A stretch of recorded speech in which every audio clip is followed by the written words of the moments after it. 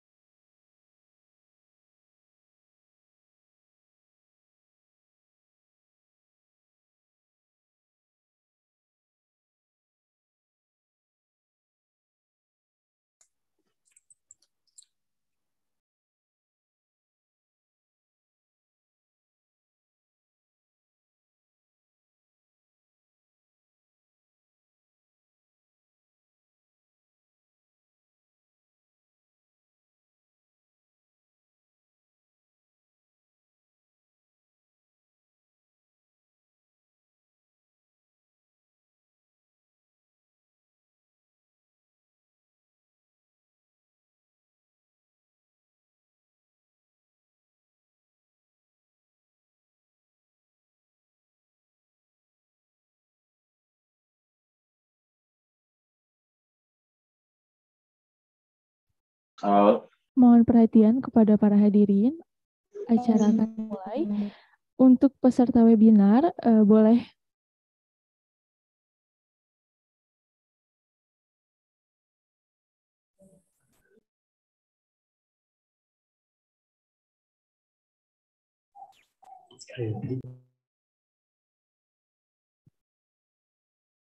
Sekali lagi kepada peserta webinar untuk mengaktifkan kamera karena acara akan segera dimulai.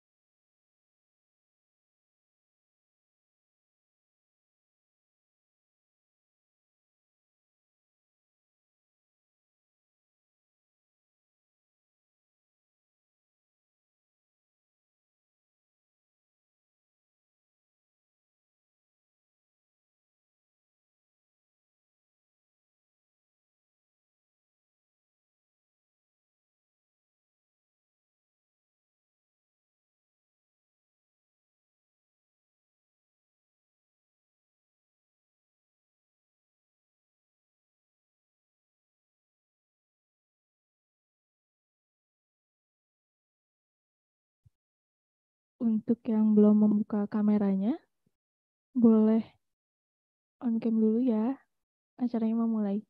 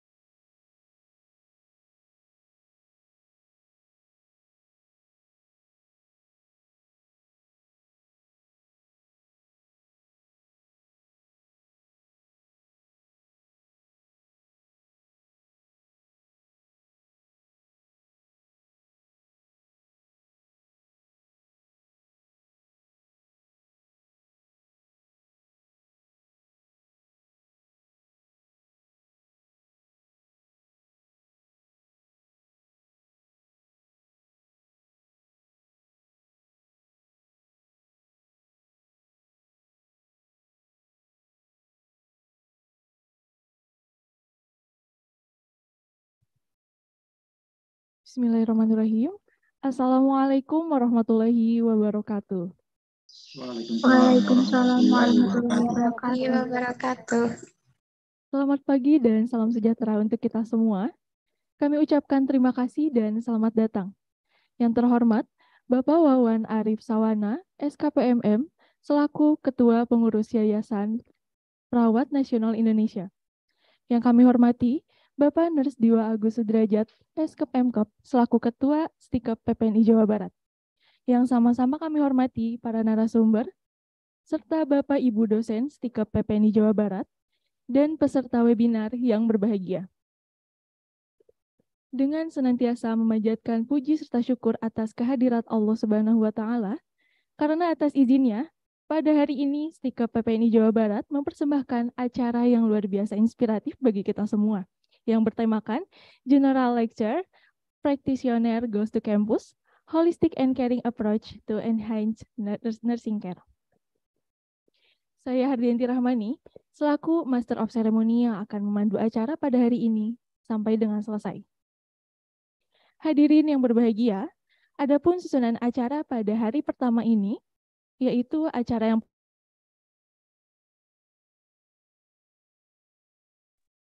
Suaranya hilang suaranya.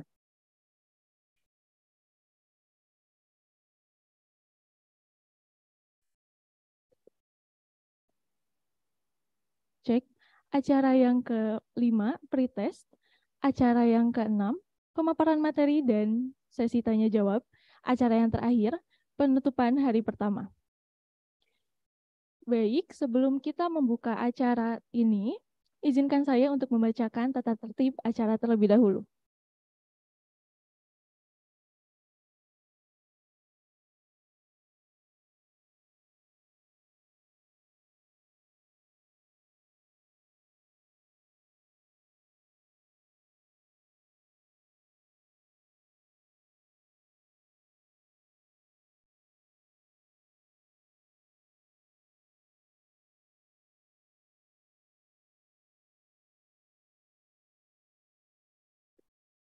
Baik, untuk uh, tata tertib pada acara hari ini, yang pertama, mahasiswa menggunakan seragam dan berperilaku sopan.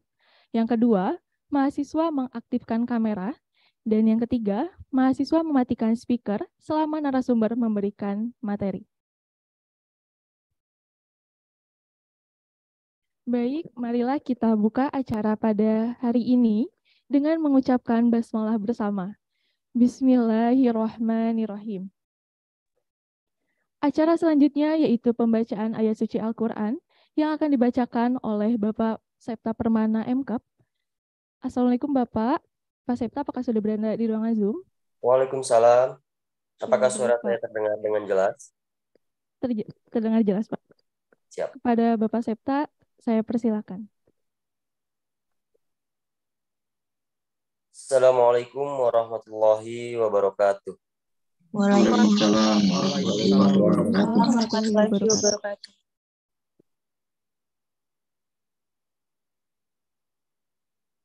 أعوذ بالله من الشيطان الرجيم بسم الله الرحمن الرحيم يا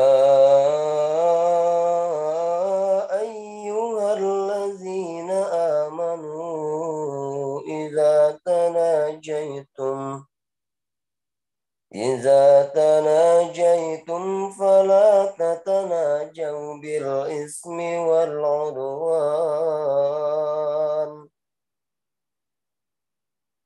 ومعصية الرسول وتناجوا بالبر والتقوى. واتقوا الله. واتقوا الله. واتقوا الله الذي إليه تحشرون. إنما النجوى الشيطان ليهزن الذين آمنوا وليس بضارهم شيئا. الذين آمنوا وليس بضارهم شيئا إلا بإذن الله. وعلى الله فليتوكل المؤمنون. يا أيها الذين آمنوا إذا قيل لكم تفسحوا في المجالس في المجالس فافسحوا يفسح الله لكم. وإذا قيل انشزوا فانشزوا وإذا قيل انشزوا فانشزوا يرفع الله الذين آمنوا منكم يرفع الله الذين آمنوا منكم والذين أوتوا العلم درجات. والله بما تعملون خبير. يا أيها الذين آمنوا إذا ناجيتم الرسول فقدموا بين يدي نجواكم فقدموا بين يدي نجواكم صدقة. ذلك خير لكم وأطهر فإن لم تجدوا فإن الله. فإن لم تجدوا فإن الله غفور رحيم. أأشفقتم أن تقدموا بين يدي نجواكم صدقة؟ فإذ لم تفعلوا وتاب الله عليكم فأقيموا الصلاة. فأقيموا الصلاة وآتوا الزكاة وأطيعوا الله ورسوله. والله خبير بما تعملون صدق الله العظيم السلام عليكم ورحمة الله وبركاته Waalaikumsalam warahmatullahi wabarakatuh. Terima kasih kepada Bapak Septa yang telah membacakan ayat suci Al-Quran. Semoga yang membacakan yang dan yang mendengarkan bisa mendapatkan berkah dari Allah Subhanahu Wa Taala. Amin ya Allah ya Rabbal Alamin. Baik, untuk acara selanjutnya yaitu menyanyikan lagu Indonesia Raya dan Mars di KPPNI Jawa Barat.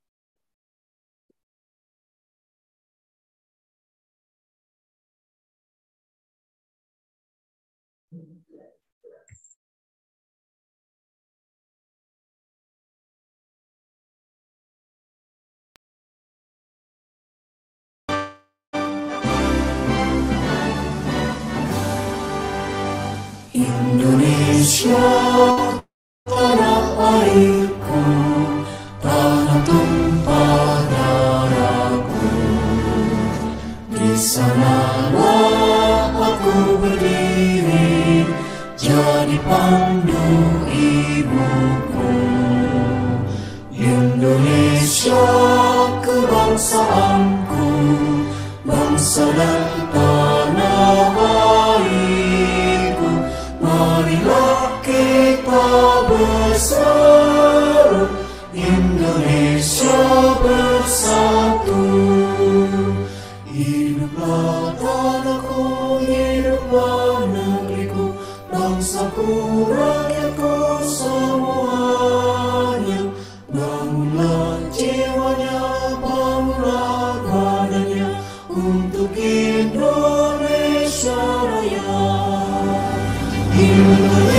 show.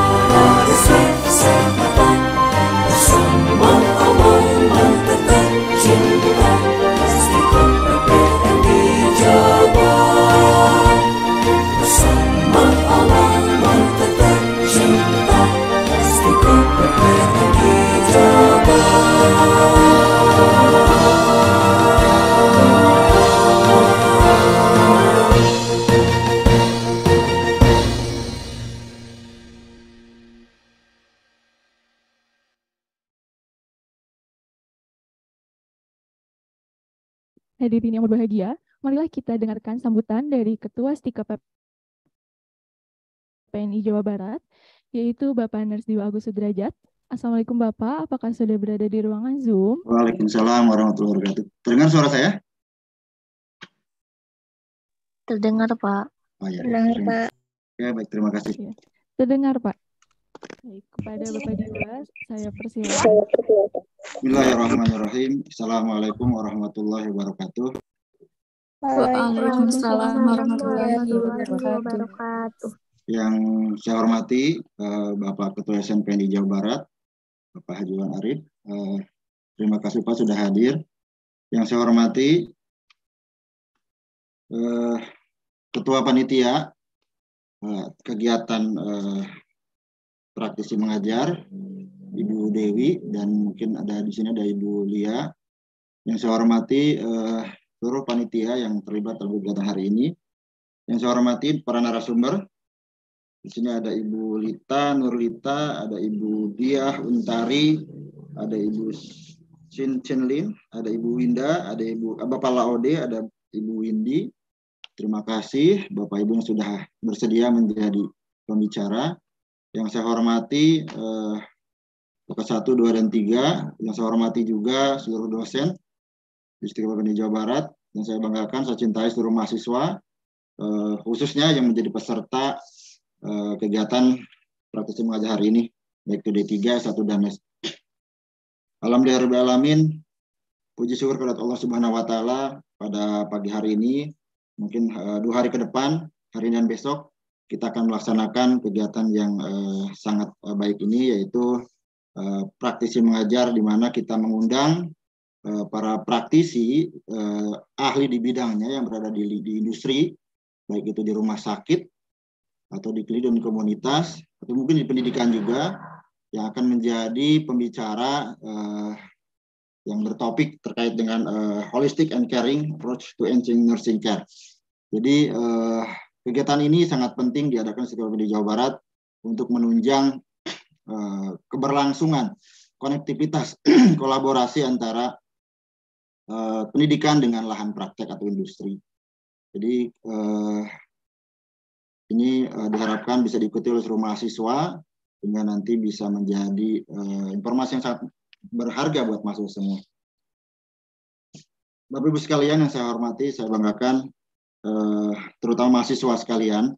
Jadi eh, kami mohon dua hari ini masuk bisa aktif eh, ikut serta dalam kegiatan ini, karena ini memiliki tujuan yang sangat baik, yaitu sebagai eh, apa ya eh, yang dikatakan sekarang kan sering katanya tidak nyambung antara eh, kompetensi di lahan dengan kompetensi didapatkan di eh, pendidikan mungkin bukan dikatakan tidak nyambung tapi belum seperti itu. Jadi salah satu kegiatan yang kita laksanakan ini adalah untuk menyambungkan atau menutup kekurangan-kekurangan atau ketidaktepatan, ketidakbersambungan antara eh, kompetensi yang didapatkan oleh mahasiswa dalam 0 tahun dari pertama lulus sampai dengan nanti di lahan praktek.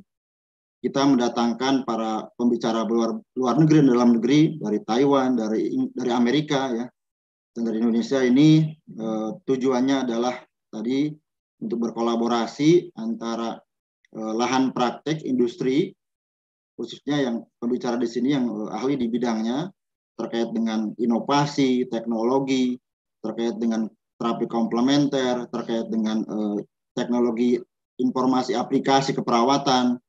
Ini yang mungkin nanti akan memperkuat kompetensi mahasiswa atau Anda sekalian dalam uh, memasuki lahan praktek atau lahan, pekerjaan nanti mungkin selama praktek pun kita akan uh, mendapatkan berbagai macam hal-hal baru terkait dengan teknologi dan nanti pada saat anda bekerja mungkin sudah berubah lagi teknologinya jadi uh, selama praktek kita sesuaikan dengan kebutuhan kita mengikuti kondisi di lahan praktek dan saat nanti bekerja anda pun tidak uh, terlambat memahami jadi uh, kegiatan ini juga memberikan peluang kepada dosen kepada staf pendidikan untuk uh, terus mengupdate ilmunya, berkomunikasi dan berkolaborasi dengan para praktisi di lahan praktek.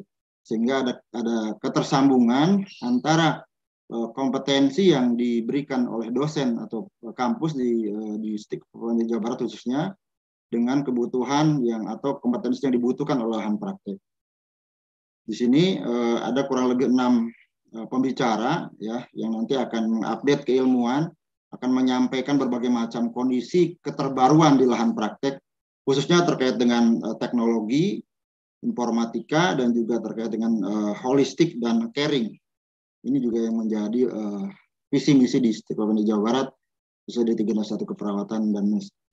Jadi Bapak Ibu sekalian, masuk sekalian, uh, tolong disimak uh, materinya dan nanti silakan bertanya apabila ada hal yang mungkin uh, bisa didiskusikan dan tidak belum dipahami oleh anda sekalian. Ini mungkin yang uh, penting dari kegiatan dua hari ke depan ini, uh, hari ini dan hari besok. Uh, harapannya kita berdoa mudah-mudahan berjalan lancar dan seluruh kegiatan bisa diikuti oleh seluruh mahasiswa dan juga dosen yang uh, hadir pada hari ini dan juga besok. Bapak sekalian, mahasiswa sekalian, kita mendatangkan pembicara ini sangat luar biasa mereka bisa menyempatkan waktu dari UI dari rumah sakit Hansadikin ada dari rumah sakit jiwa dan lain-lainnya kami selaku institusi menyampaikan terima kasih atas uh, kesempatan dan waktu yang diberikan sehingga di balik kesibukan uh, para, para pembicara ini bisa hadir di uh, media Zoom kita untuk mengupdate keilmuan terkait dengan uh, tema yang tadi kita sampaikan. Mungkin itu bisa sampaikan uh, Bapak Ibu sekalian. Uh, mudah-mudahan Eh, bisa uh, dipahami terutama oleh mahasiswa dan mahasiswa bisa mengikuti dengan baik. Terima kasih pada semua pihak yang sudah melaksanakan kegiatan ini sampai dua hari ke depan. Mudah-mudahan bermanfaat buat mahasiswa kita semua. Saya tutup. Terima kasih. Wassalamualaikum warahmatullahi wabarakatuh. Waalaikumsalam warahmatullahi wabarakatuh. Terima kasih banyak kepada Bapak Diwa yang telah menyampaikan sambutannya. Baik, untuk uh, kita lanjut ke acara selanjutnya, yaitu pretest. Uh, kepada panitia, mohon dibantu untuk uh, mengirimkan linknya di kolom chat. Dan kepada peserta webinar, uh, dimohon untuk mengisi link pretestnya ya. Di, uh, diisi selama 10 menit. Boleh ditunggu sebentar.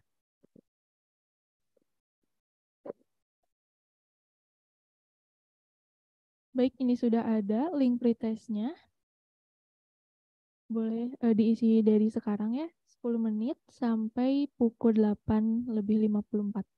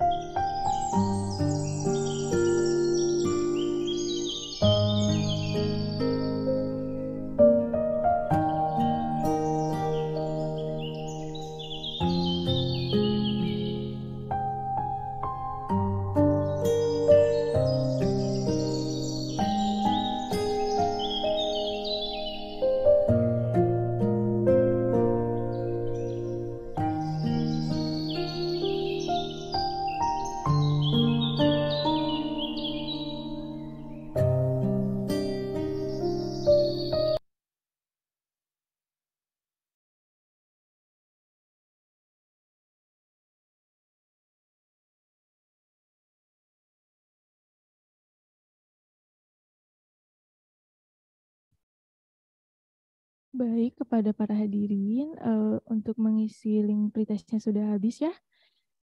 Untuk sebelum eh, melanjutkan ke acara selanjutnya, saya ingatkan kembali untuk on cam, karena di sini masih banyak yang belum on cam ya.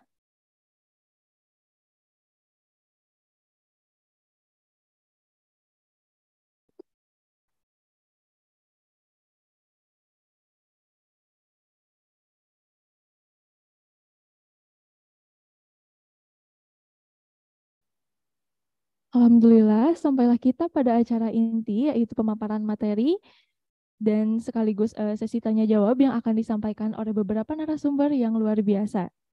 Sebelum saya menyerahkan acara ini kepada moderator, izinkan saya untuk membacakan CV dari moderator terlebih dahulu.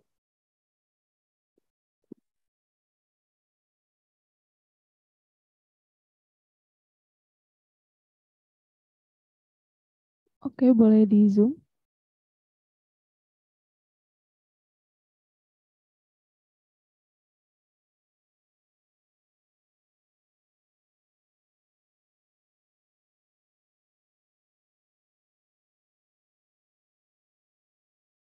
Oke, untuk moderator yang pertama di sini ada Ibu Agni Laili Perdani MS. Beliau sebagai lecturer dan researcher di Department of Pediatric Nursing dan sebagai Head of Students and Alumni Affairs, STIKA PPNI Jawa Barat. Di sini bisa kita lihat ada education dari beliau ya.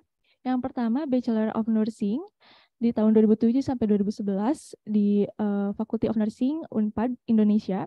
Lalu yang kedua ada internship student di tahun 2011 sampai 2012 uh, sama di Unpad juga Lalu yang ketiga ada Master of Science di tahun 2016 sampai 2018 at International Advanced Program in Nursing College of Medicine National Cheng Kung University Taiwan. Selanjutnya di sini ada work experience. Boleh scroll ke bawah. Nah, di sini yang pertama di tahun 2012 sampai 2014 di sini ada adult health nurse at Eka Hospital BSD. Yang kedua di tahun 2017 sampai 2018 ada sebagai translator atau interpreter di uh, National Cheng Kung University Hospital Taiwan ya. Yang selanjutnya di tahun 2016 sampai 2018 sebagai teaching assistant sama di National Cheng Kung University juga. Lalu yang keempat dari tahun 2014 sampai sekarang sebagai research assistant in Fever Study Group Health uh, Research uh, Center of TB and HIV and Dengue di Faculty of Medicine University of Pajajaran Bandung Indonesia.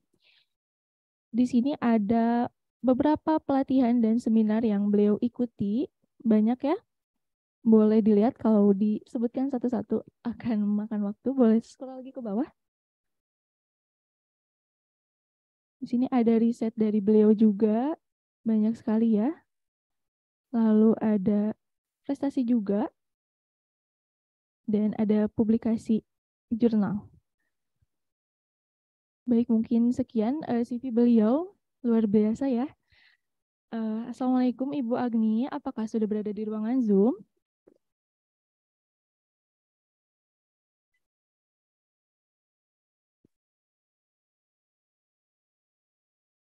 Assalamualaikum Ibu Agni. Apakah suara saya terdengar?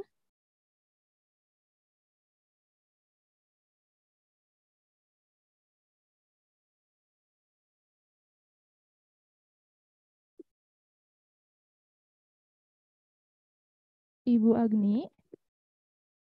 Iya, sorry, sorry. Ya. ya. Maaf, maaf. Iya, Bu. Gimana Ibu kabarnya hari ini? Oh ya, baik. Alhamdulillah. Alhamdulillah, ya Bu. Baik, uh, untuk acara saya serahkan kepada Ibu Agni. Oke, ya. Silakan, Bu. Ya. Bismillahirrahmanirrahim. Assalamualaikum warahmatullahi wabarakatuh. Assalamualaikum warahmatullahi wabarakatuh. warahmatullahi wabarakatuh. Bisa terdengar ya suaranya ya? Oke, ya. Alhamdulillah saat ini kita sudah uh, kedatangan salah satu praktisi dari keperawatan anak ya, Bu Lita Nurlita. Bu Lita sudah hadir di ruangan Zoom? Sudah, Bu Agni. Oke, ya.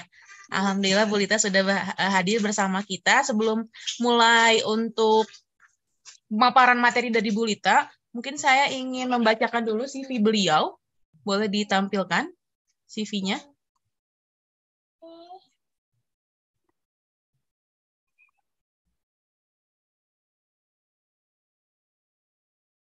Sambil menunggu saya bacakan uh, langsung ya dari Bu Lita ini. Oke, Bu Lita ini adalah uh,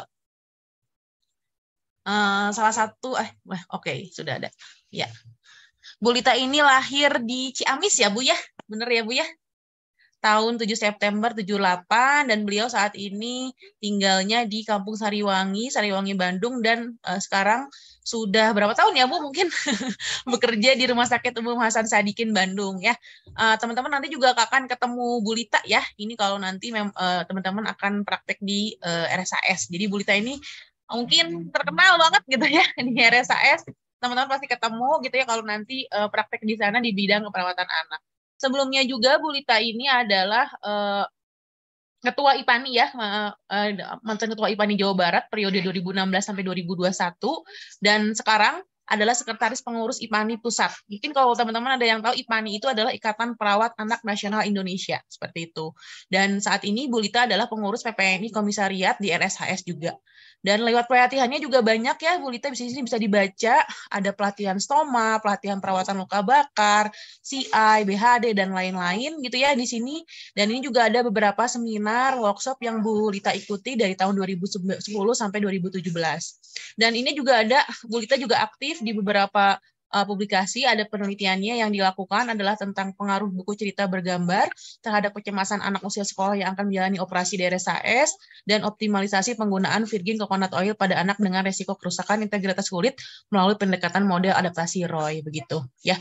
Uh, tanpa berpanjang-panjang lagi uh, saya serahkan waktu dan tempat kepada Bu Lita Nurlita MKep uh, spesialis keperawatan anak. Mangga Bu.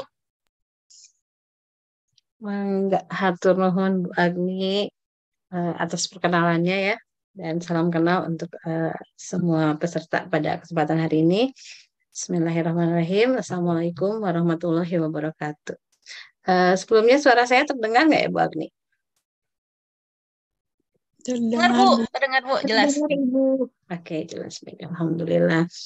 Eh, mungkin pertama-tama saya ucapkan terima kasih untuk eh, Stika PPNI yang pada kesempatan hari ini eh, memberikan kesempatan saya eh, dari praktisi eh, untuk eh, sharing mungkin ya lebih ke arah sharing terkait dengan eh, materi atau kasus pada pasien-pasien dengan pembedahan terutama di area keperawatan anak gitu ya.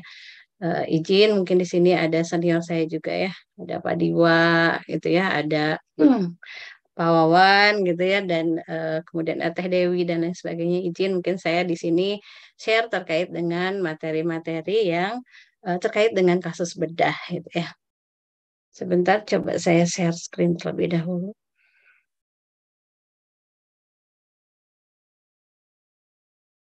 Oke, apakah sudah nampak materi?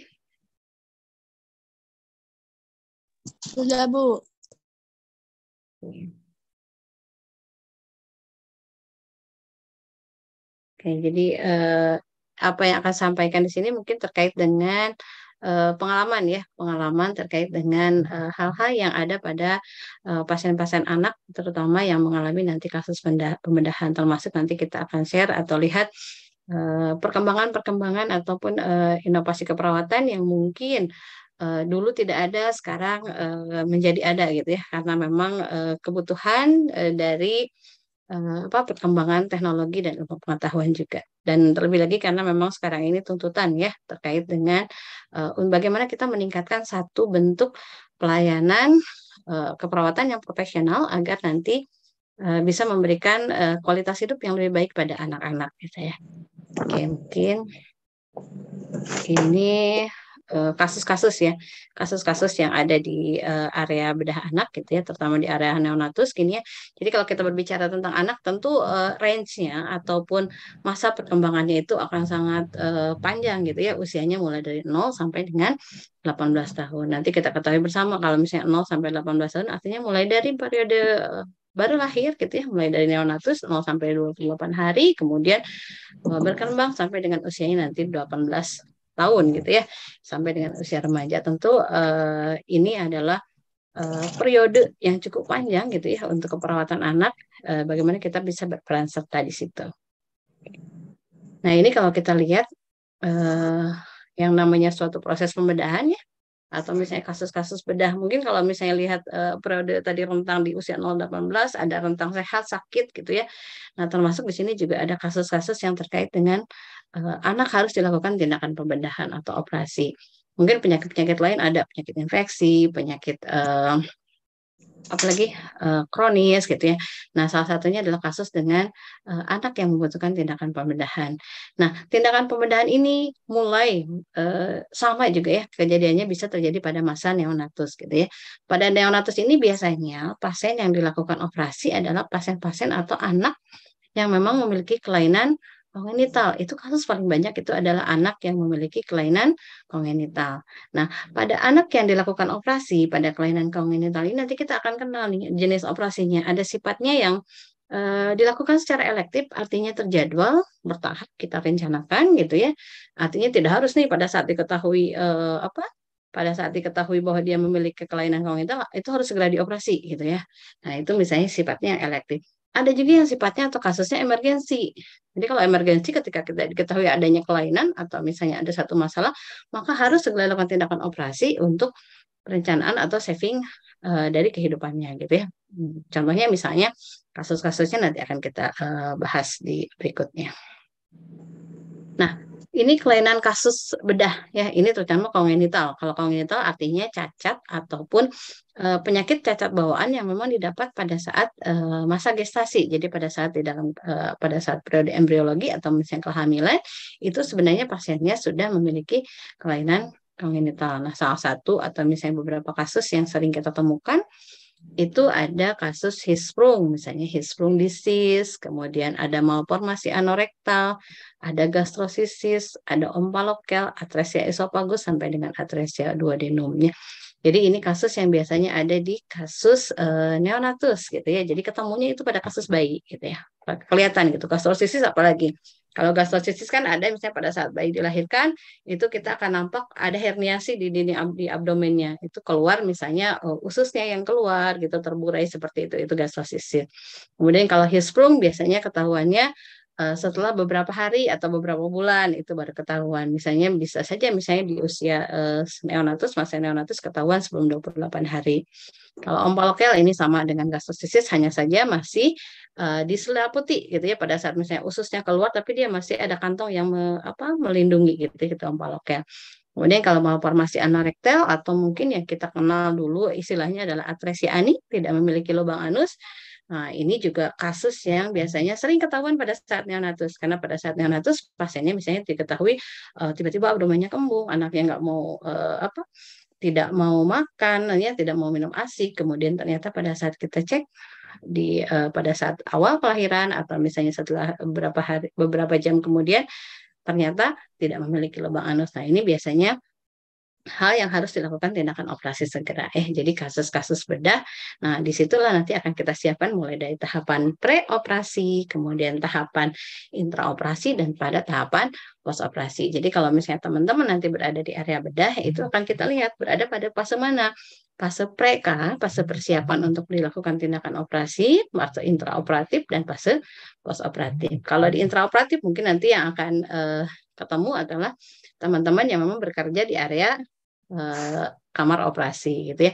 Tapi kalau misalnya pre dan post op itu biasanya areanya adalah teman-teman perawat yang berada di area ruang perawatan gitu ya.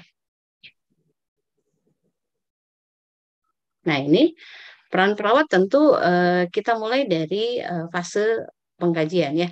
Pengkajian, kemudian perumusan diagnosa, perencanaan, implementasi dan evaluasi. Pengkajian ini tadi sesuai dengan tahapannya berada di fase mana? Fase preoperasi kah atau fase post operasi gitu ya. Nah, di pengkajian ini tentu eh, akan banyak hal yang bisa kita dapatkan atau ketemu sesuai dengan eh, tahapan dari eh, masalah yang dihadapi oleh anak, apakah memang secara masalah fisiknya atau mungkin bisa juga terkait dengan masalah psikologis. Nah, biasanya kalau pada psikologis itu kenanya adalah kalau di anak itu karena kita biasanya di anak adalah kita ada konsep family center care maka yang akan kena itu biasanya atau yang akan terdampak adalah orang tua atau orang terdekat gitu ya. Jadi pengkajian di anak tidak lepas dari pengkajian uh, anak dan juga pengkajian caregiver atau orang tuanya gitu ya. Kemudian baru di situ kita bisa menentukan perumusan diagnosa, perencanaan, implementasi sampai dengan evaluasi. Nah, di proses ini tentu ya, mulai dari pengkajian, perumusan diagnosa, perencanaan, implementasi, sampai dengan evaluasi merupakan tahapan yang terus-menerus atau berkesinambungan, sampai kita bisa menyelesaikan atau problem solving terhadap masalah-masalah yang dihadapi oleh uh, pasien uh, bayi atau pasien anak tadi ya. Jadi mungkin bisa saja teknologi itu misalnya uh, kita dapatkan pada saat kita melakukan implementasi, atau justru misalnya pada saat kita melakukan evaluasi. Jadi proses ini uh, bisa menggunakan beberapa teknologi. Ya. Nah, pengkajian. Pengkajian tentu kalau misalnya kita lihat tadi tahapannya apakah di pre atau post op. Kalau di preoperatif biasanya masalah-masalah yang terkaji adalah terkait dengan tadi keluhan dari penyakit uh, yang dialami. Misalnya tadi contohnya kalau misalnya kita ketemu dengan pasien malformasi anorektal. Tentu keluhan utama ini bisa kita kita dapatkan adalah kalau pada bayi mungkin kita tidak bisa ya ngobrol langsung, tetapi bisa kita dapatkan secara alo anamnesa. Jadi dapat ketemunya dari uh, orang tua ataupun misalnya uh, pemeriksaan lain misalnya dari uh, jejak atau misalnya catatan uh, profesi lain gitu ya. Kita lihat misalnya keluhan utamanya apa nih ibunya mengeluh misalnya tidak bisa buang air besar anaknya misalnya atau misalnya pada saat setelah dilahirkan belum pernah buang air besar gitu ya atau misalnya dari catatannya ternyata diketahui bahwa uh, pasiennya ternyata memang tidak memiliki lubang anus gitu ya. Jadi dari keluhan utama wawancara dan juga riwayat kesehatan. Kemudian objektifnya kita lihat nih pemeriksaannya.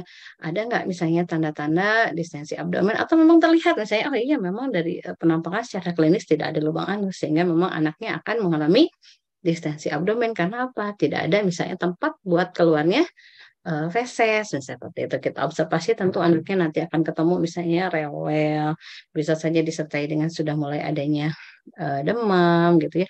Kalau dibiarkan lebih lama misalnya tidak ada penanganan yang segera gitu ya untuk deteksinya itu bisa saja terjadi sampai terjadi infeksi atau misalnya sepsis sampai bisa mengakibatkan kematian gitu ya.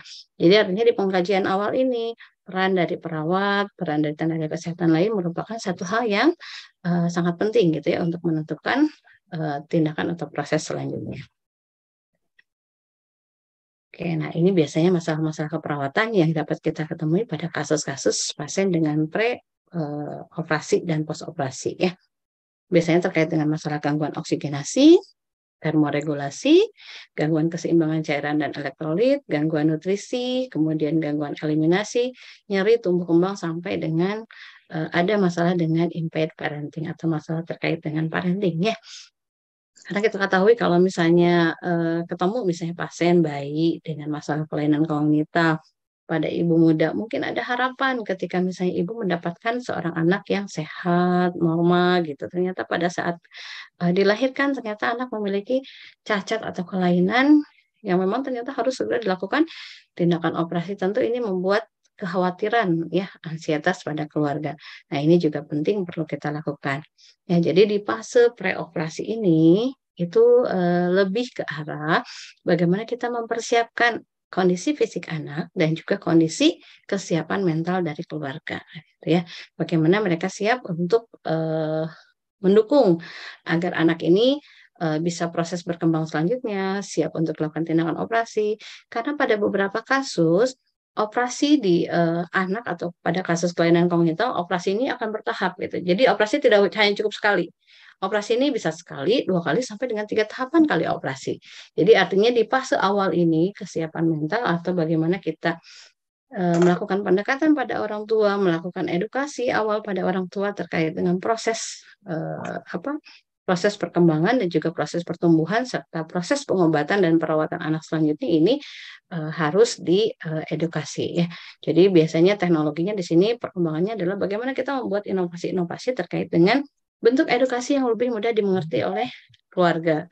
Bagaimana keluarga bisa mengerti tahapan-tahapan terkait dengan uh, operasi gitu ya. Jadi bagaimana kita memberikan gambaran biasanya berbentuknya ada yang berbentuk booklet, ada yang juga menggunakan aplikasi. Misalnya kalau sekarang kan zamannya gadget ya. Jadi ada beberapa mungkin uh, aplikasi yang memang menjelaskan terkait dengan tahapan-tahapan operasi. Atau juga ada aplikasi yang menjelaskan terkait dengan uh, kesiapan ibu. Misalnya tadi pasiennya tadi uh, malformasi anorektal. Kalau malformasi anorektal atau misalnya atresia ani, pasiennya akan dilakukan tindakan operasi, itu dari awal dijelaskan dulu sama ibunya bahwa nanti pasiennya akan ada stoma, misalnya akan ada kolostomi. Nah, ketika akan ada kolostomi ini artinya si edukasi edukasi ibu juga harus dikasih tahu bahwa kolostomi itu seperti apa, nanti perawatannya seperti apa, itu bisa dijelaskan pada fase pre-op dan juga pada fase post-op. Tentu di pre-op ini kita akan memberikan gambaran sekilas gitu ya, belum secara detail. Nanti pada saat post-op itu akan lebih detail sampai dengan ibunya skill untuk melakukan tindakan keperawatan atau tindakan untuk perawatan anaknya selanjutnya di rumah itu bisa dilakukan gitu ya.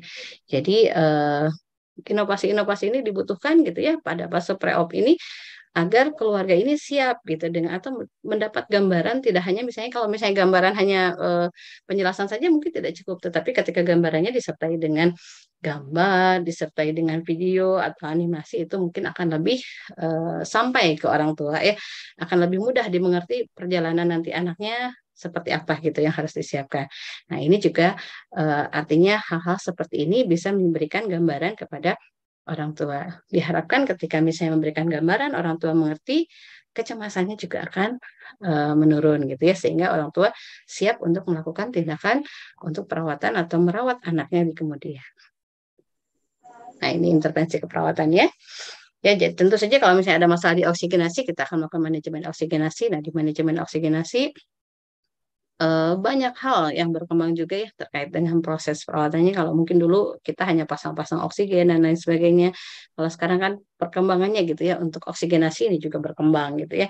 Tidak hanya misalnya nasal kanul, tetapi kita sudah mulai mempelajari bagaimana untuk tindakan-tindakan uh, high uh, konsentrasi untuk pemberian oksigen gitu ya. Kemudian manajemen termoregulasi, apalagi kalau di bayi gitu ya, termoregulasi ini menjadi hal yang penting gitu. Jangan sampai bayi mengalami kedinginan. Ketika misalnya mengalami kedinginan, tentu uh, akan menjadikan dampak atau untuk proses masalah selanjutnya gitu ya. Kemudian manajemen keseimbangan cairan elektrolit, nutrisi, eliminasi, manajemen nyeri sampai dengan tumbuh kembang dan persiapan keluarga dalam pola asuh. Nah, kalau misalnya dieliminasi, uh, mungkin hal yang biasanya kasus ya mungkin yang uh, memberikan gambaran sering pada kasus masalah eliminasi adalah pasien dengan hisprung misalnya. Kalau pasien dengan hisprung kan tidak harus misalnya di awal berbeda dengan uh, atresi ani yang memang misalnya kalau tidak memiliki lubang keluar itu harus dilakukan tindakan operasi. Tetapi kalau misalnya pada kasus hisprung itu bisa di uh, apa namanya dijadwalkan gitu terencana. Jadi tidak harus ketahuan langsung operasi enggak, tetapi bisa dijadwalkan untuk operasi uh, terencana gitu ya. Dan biasanya keluarga eh, akan diajarkan terkait dengan manajemen eliminasi. Jadi biasanya kalau pada pasien-pasien hisprung itu keluarga akan diajarkan bagaimana untuk melakukan satu bentuk tindakan karena fesesnya tidak bisa keluar misalnya ya dibantulah dengan misalnya dilakukan tindakan wash out ya atau bagaimana cara manajemen untuk mengeluarkan feses gitu. Nah, ini diajarkan. Tentu proses pengajaran ini juga menjadi hal yang penting gitu ya bagaimana keluarga ketika uh, melakukan satu tindakan itu dari mulai takut sampai dengan harus bisa gitu ya. Karena ada beberapa kasus uh, masalah eliminasi ini eh, menjadi bermasalah ketika keluarga tidak kerjasama sehingga tidak bisa melakukan tindakan wash out di rumah gitu ya. Jadi kan kalau misalnya untuk menunggu operasi apalagi misalnya kita operasinya bisa uh, antrian gitu ya jadi peran keluarga ini akan menjadi sangat penting untuk bisa melakukan uh, tindakan wash gitu. oke selanjutnya Nah, ini manajemen oksigenasi. Jadi kalau misalnya di bayi itu kan uh, mungkin ketemu kita dengan masalah-masalah tertentu yang uh, mengakibatkan adanya gagal misalnya atau ada kegawatan napas gitu ya. Apalagi misalnya pada pasien-pasien dengan uh, pasca operasi gitu ya. Jadi pastikan nih posisinya yang betul gitu ya, posisi bayi menghidup dan nyaman, kemudian tengkurapnya harus dengan kepala miring. Jadi kita positioning ya, tetap melakukan positioning karena sekarang udah banyak tuh penelitian terkait dengan positioning. Kemudian bersihkan jalan napas, menyiapkan alat dan melakukan pemasangan eh, apa namanya uh, airway device gitu ya baik itu oro atau nasofaringial. Jadi kadang-kadang nih kalau kita lihat gambar ketemu nih kasus-kasus seperti ini gitu ya. Jadi tidak ada yang eh, kadang-kadang ada yang mulus bagus alhamdulillah tapi kadang-kadang kita ketemu dengan kasus-kasus yang tidak mulus sehingga misalnya sudah operasi ternyata jahitannya uh, lepas gitu ya atau jahitannya harus terbuka karena pasiennya mengalami distensi abdomen gitu ya sehingga dilakukanlah teknik-teknik tertentu untuk bagaimana kita melakukan perawatan luka. Nah, ini juga uh, di perawatan luka juga menjadi satu bentuk uh, banyak gitu ya, banyak inovasi atau teknologi yang bisa kita manfaatkan terkait dengan banyak penelitian yang sudah dilakukan terkait dengan bagaimana melakukan perawatan luka pada uh, bayi, kemudian pada anak gitu ya, dengan kasus-kasus tertentu, apalagi dengan luka yang uh, kurang baik misalnya gitu ya.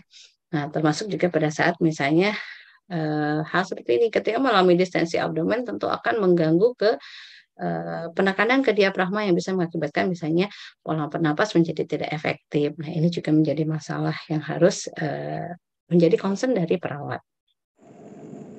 Nah, ini kalau misalnya sekarang manajemen oksigenasi sudah sampai dengan tahapan uh, kalau yang sudah sampai dengan gagal napas itu artinya harus melakukan sampai dengan pemasangan ventilator dan ini biasanya dilakukan di ruangan khusus ya.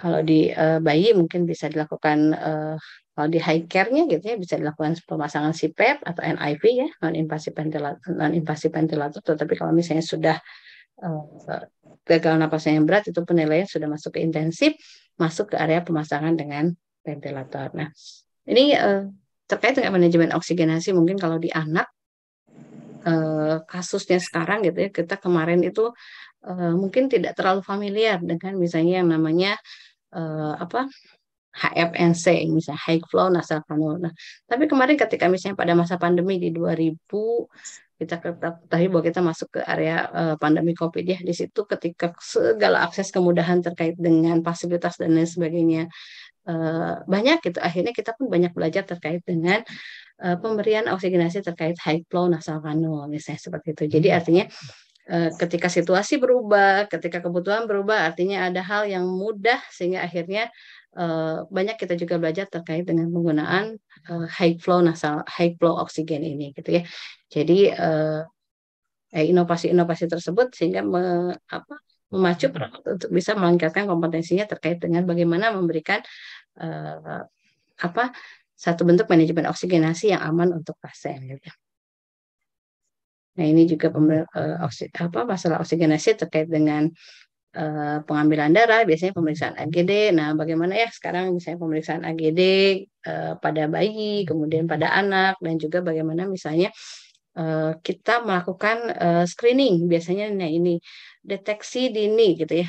Kalau dulu mungkin kita banyak kasus misalnya kita ketemukan misalnya ketika terjadi kegawatan atau apa tiba-tiba pasiennya apne gitu ya tanpa kita bisa melakukan deteksi. Nah, kalau sekarang kan sudah ada ya rambu-rambunya bagaimana kita bisa melakukan screening di awal bagaimana terjadinya proses eh, penurunan pasien misalnya mengalami eh, kegagalan atau misalnya mengalami kegawatan ya. Mulai dari mungkin kalau di anak itu ada pediatric early warning score. Nah, jadi bagaimana penerapan dari PEWS gitu ya, pediatric early warning scoring ini bisa mem- eh, menjadi rambu-rambu bagi kita untuk menentukan bahwa ini sudah mulai nih, misalnya anak dalam kondisi stabil kah, atau memang anak dengan misalnya kondisi yang harus memba- menggunakan eh, alat bantu dan lain sebagainya ya. Jadi PEWS ini menjadi satu bentuk scoring yang memang nanti akan digunakan. Nah, aplikasi seperti ini mungkin banyak ada yang bisa menggunakan HP gitu ya di HP dilihat eh, untuk mo- apa namanya screeningnya atau mungkin kalau sekarang sudah EMR misalnya electronic medical record itu bisa terlihat grafiknya gitu ya atau mungkin ada teknik-teknik tertentu terkait dengan eh, PEWS terkait score yang memang nanti teknologi ini akan memudahkan kita bagaimana hal ini bisa memperlihatkan bahwa anak mengalami penurunan sehingga segera dilakukan tindakan untuk eh, manajemen yang lebih tinggi gitu ya. Sehingga nanti tadi tujuannya adalah untuk eh, lebih memperhatikan agar mendapatkan kualitas hidup yang lebih baik kemudian juga akhirnya bisa saving life gitu ya. Kalau dulu kan sering ya zaman saya dulu mungkin ya zaman dulu saya kadang-kadang pasien bisa aja kalau ketika bikin laporan pasien tiba-tiba apne gitu padahal kan sebenarnya hal seperti itu eh, harusnya bisa di- dideteksi dari awal ya. Jadi screening dari awal ketika ketahuan oh ini anaknya kok eh, tadinya misalnya nadinya sekian, kemudian sekarang kok lebih tinggi dan lain sebagainya, kita sudah mulai ada scoringnya.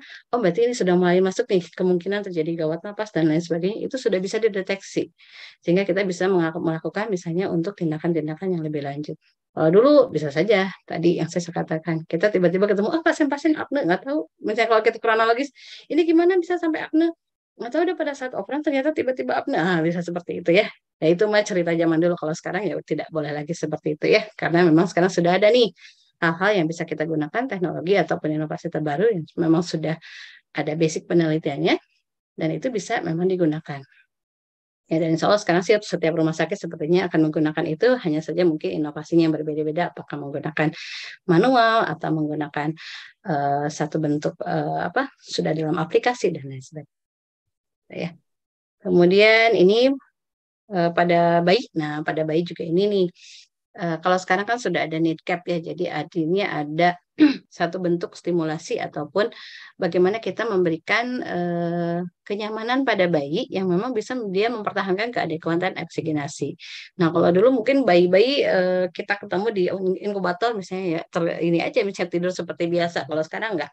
Kalau sekarang sudah ada eh, namanya istilahnya kita sebutkan dengan istilah nesting. Jadi seperti kita memberikan kenyamanan eh, sarang ya, sarang gitu ya nesting pada pada anak gitu atau pada bayi yang terutama yang memang masih eh, belum can motah gitu istilahnya kalau belum motah. Jadi isinya untuk memberikan kenyamanan ketika dia seperti ada di pangkuan gitu ya. Jadi posisi seperti itu. Nah, dengan nesting ini ininya eh, biasanya pasien gitu ya dengan nesting ini penelitiannya adalah eh, terhadap saturasi oksigen dan nadi ini bagus. Jadi kalau misalnya kita lihat di sini kita bisa melihat bahwa ada perubahan warna kulit, misalnya bisa kita lihat nih ada pucat, misalnya berbercak atau cyanosis bisa kita lihat gitu ya. Kemudian eh, dampak terhadap tremor, terkejut juga itu bisa dikurangi karena kan ketika misalnya di nesting itu eh, bayi seperti dipeluk gitu ya, dipeluk karena posisi eh, apa posisi bayi juga pada saat di dalam kandungan misalnya agak menekuk seperti itu ya. Jadi seperti kalau misalnya efek terkejut dan lain sebagainya itu akan sedikit bisa dikurangi ya. Jadi mengurangi hal-hal seperti ini. Kita jadi biasanya lebih eh, nyaman, lebih tenang gitu ya terhadap proses eh, untuk bayi ini ya kita. Dan kita ketahui kalau misalnya bayi nyaman, tenang, bayi itu kan kebutuhannya lebih banyak. Misalnya dia harus membutuhkan lebih banyak tidur dibanding dia misalnya eh, belum-belum misalnya ada perawat misalnya suaranya tinggi terkagetkan. Ada perawat misalnya dengan uh, hal hayawnya buka, oh mau tindakan buka lagi, tindakan buka lagi gitu ya. Itu tentu mengganggu eh, bayi. Kalau sekarang nggak boleh lagi tuh. Kalau mau satu tindakan ke bayi itu satu selesai tindakan selesai, baru kemudian nanti akan dilakukan ke tindakan yang lain gitu ya. Nah, ini juga eh, hal-hal yang memang dulu sih tidak kita lakukan, tapi sekarang itu menjadi keharusan seperti ini agar misalnya bayi itu bisa beristirahat gitu ya. Tujuannya adalah nanti agar stimulasinya bagus sehingga proses untuk eh, perkembangan bayi, terutama perkembangan saraf ya, penumpukan sinap sarafnya menjadi lebih baik lagi. Nah, ini ya. Jadi eh, beberapa penelitian ini sudah terkait dengan penurunan gangguan tidur dan penurunan skala nyeri. Oke. Kemudian termoregulasi tadi sudah ya. Yang penting adalah uh, bagaimana kita um, agar bayi-bayi yang sudah pos operasi terutama ya pasien-pasien pos operasi gitu ya tentu ketika dia di kamar operasi itu kedinginan gitu dengan, dengan misalnya suhu ruangan atau di kamar oka itu yang uh, dingin ber AC dan lain sebagainya bagaimana kita agar misalnya tetap berada dalam bayi ataupun anak yang sedang melakukan tindakan operasi ini tetap dalam kondisi hangat. Ya, misalnya e, kalau di kamar operasi mungkin ada ya penggunaan selimut hangat gitu ya. Jadi alas hangat yang memang itu e, tujuannya adalah untuk memberikan kenyamanan pada pasien agar sampai tidak terjadi masalah di e, hipotermi. Oke, ini manajemen cairan. Nah, manajemen cairan mungkin tidak terlalu banyak ya terkait dengan yang paling penting di manajemen cairan adalah bagaimana kita melakukan uh, identifikasi kebutuhan cairan, kemudian monitoring intake dan output. Dan yang paling penting biasanya masalah nih ketika misalnya berada di uh, area keperawatan anak adalah bagaimana kita memastikan bahwa akses. Nah, terkait biasanya kalau di anak itu terkait akses, akses intravena, akses itu baik periper atau sentral yang harus kita perhatikan. Kalau teknologi dulu mungkin maksain gitu ya, ketika misalnya tidak ada uh, yang penting ada akses masuk gitu ya. Nanti jenis cairannya tidak terlalu kita perhatikan, yang penting akses masuk, kemudian e, cairannya kita e, masukkan sesuai dengan kebutuhan. Tetapi kalau sekarang sudah mulai berbeda, artinya kita harus perhatikan ketika aksesnya ini cairannya high e, high concentrate atau tidak. Kalau dengan high concentrate atau misalnya dengan osmolaritas yang tinggi, tidak bisa kita pakai di periper. Jadi lihat perhatikan adalah akses. Ketika misalnya di bayi karena aksesnya susah gitu ya, kemudian eh, ketika mendapatkan terapi misalnya dengan yang uh, osmolaritas tinggi misalnya di atas 900 miliosmol misalnya nah ini harus diperhatikan. Berarti kita pertimbangan untuk menggunakan misalnya akses yang uh, sentral gitu. Bagaimana kita memasang uh, akses intravena yang sentral ataupun misalnya pilihannya ada periper. Nah, itu yang penting adalah monitoring karena kasus biasanya yang sering terjadi adalah kasus plebitis. Kasus plebitis, kasus misalnya eh, karena aksesnya kecil ya, kemudian bisa terjadi uh, misalnya dan lain sebagainya. Nah, ini yang harus kita perhatikan terkait dengan biasanya yang rajin melihat adalah bagaimana kontrol dari peran-peran uh, perawatnya untuk bagaimana mengulangi resikonya ya jadi akses intravenanya jangan sampai terjadi ADP misalnya infeksi aliran darah perifer ya Oke. Nah, ini manajemen cara elektrolit. Oke, sudah tadi yang penting. Kalau masalah uh, nutrisi, uh, ini kita menggunakan uh, apa namanya? Lihat identifikasi kebutuhan sesuai dengan uh, penyakitnya dan ini biasanya sudah dilakukan screening juga terlebih dahulu jadi banyak tuh screening screening yang memang menentukan bahwa di awal misalnya kalau kita ketemu pasien ini ya screeningnya apakah screeningnya uh, dikurang dari satu misalnya untuk menentukan apakah dia ada masalah atau tidak atau memang ternyata harus dikonsulkan ke dietitian atau memang mendapatkan uh, terapi lain. Nah, ini juga penting untuk dilakukan. Jadi kalau kita sih perawat biasanya di area ini adalah bagaimana melakukan screening. Apakah screening ini uh, menentukan dia harus dikonsulkan ke level selanjutnya. Ini ya, manajemen nutrisi, pemberian nutrisi, dan juga biasanya kalau di bayi ini selain pemberian uh, ASI ya, pemberian ASI yang paling penting juga memperhatikan bagaimana refleks-refleks terkait dengan uh, refleks untuk uh, menghisap dan lain sebagainya ini juga harus diperhatikan. Misalnya nanti uh, ketemu nih ada golongan yang memang tidak memperbolehkan uh, pemberian empeng gitu ya.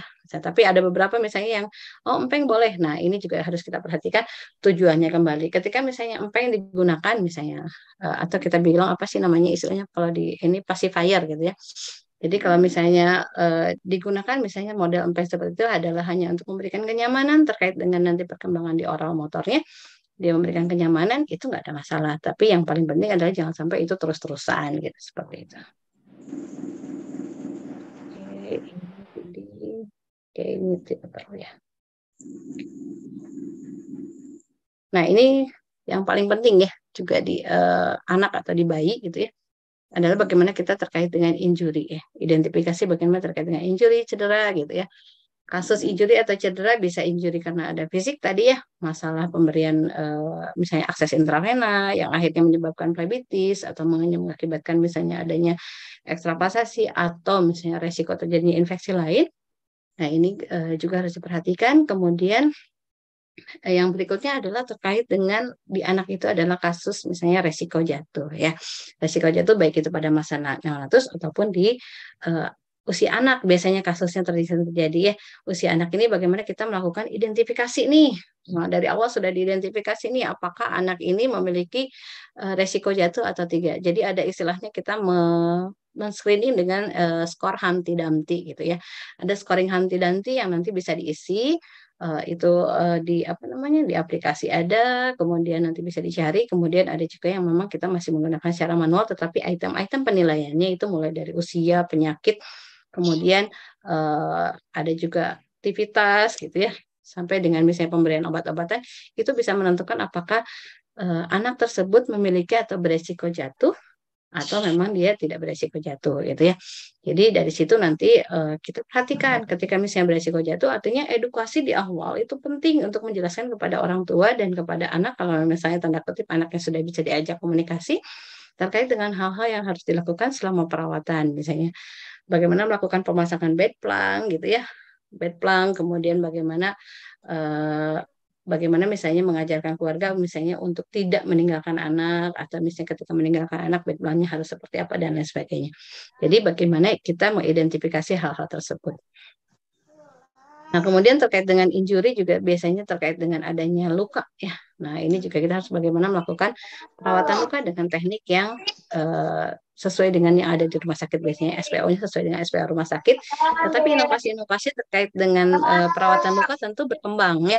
Jadi kalau dulu misalnya perawatan luka itu hanya dengan oles betadin gitu ya, mau lukanya apa pun betadin adalah obatnya. Kalau sekarang tidak gitu ya.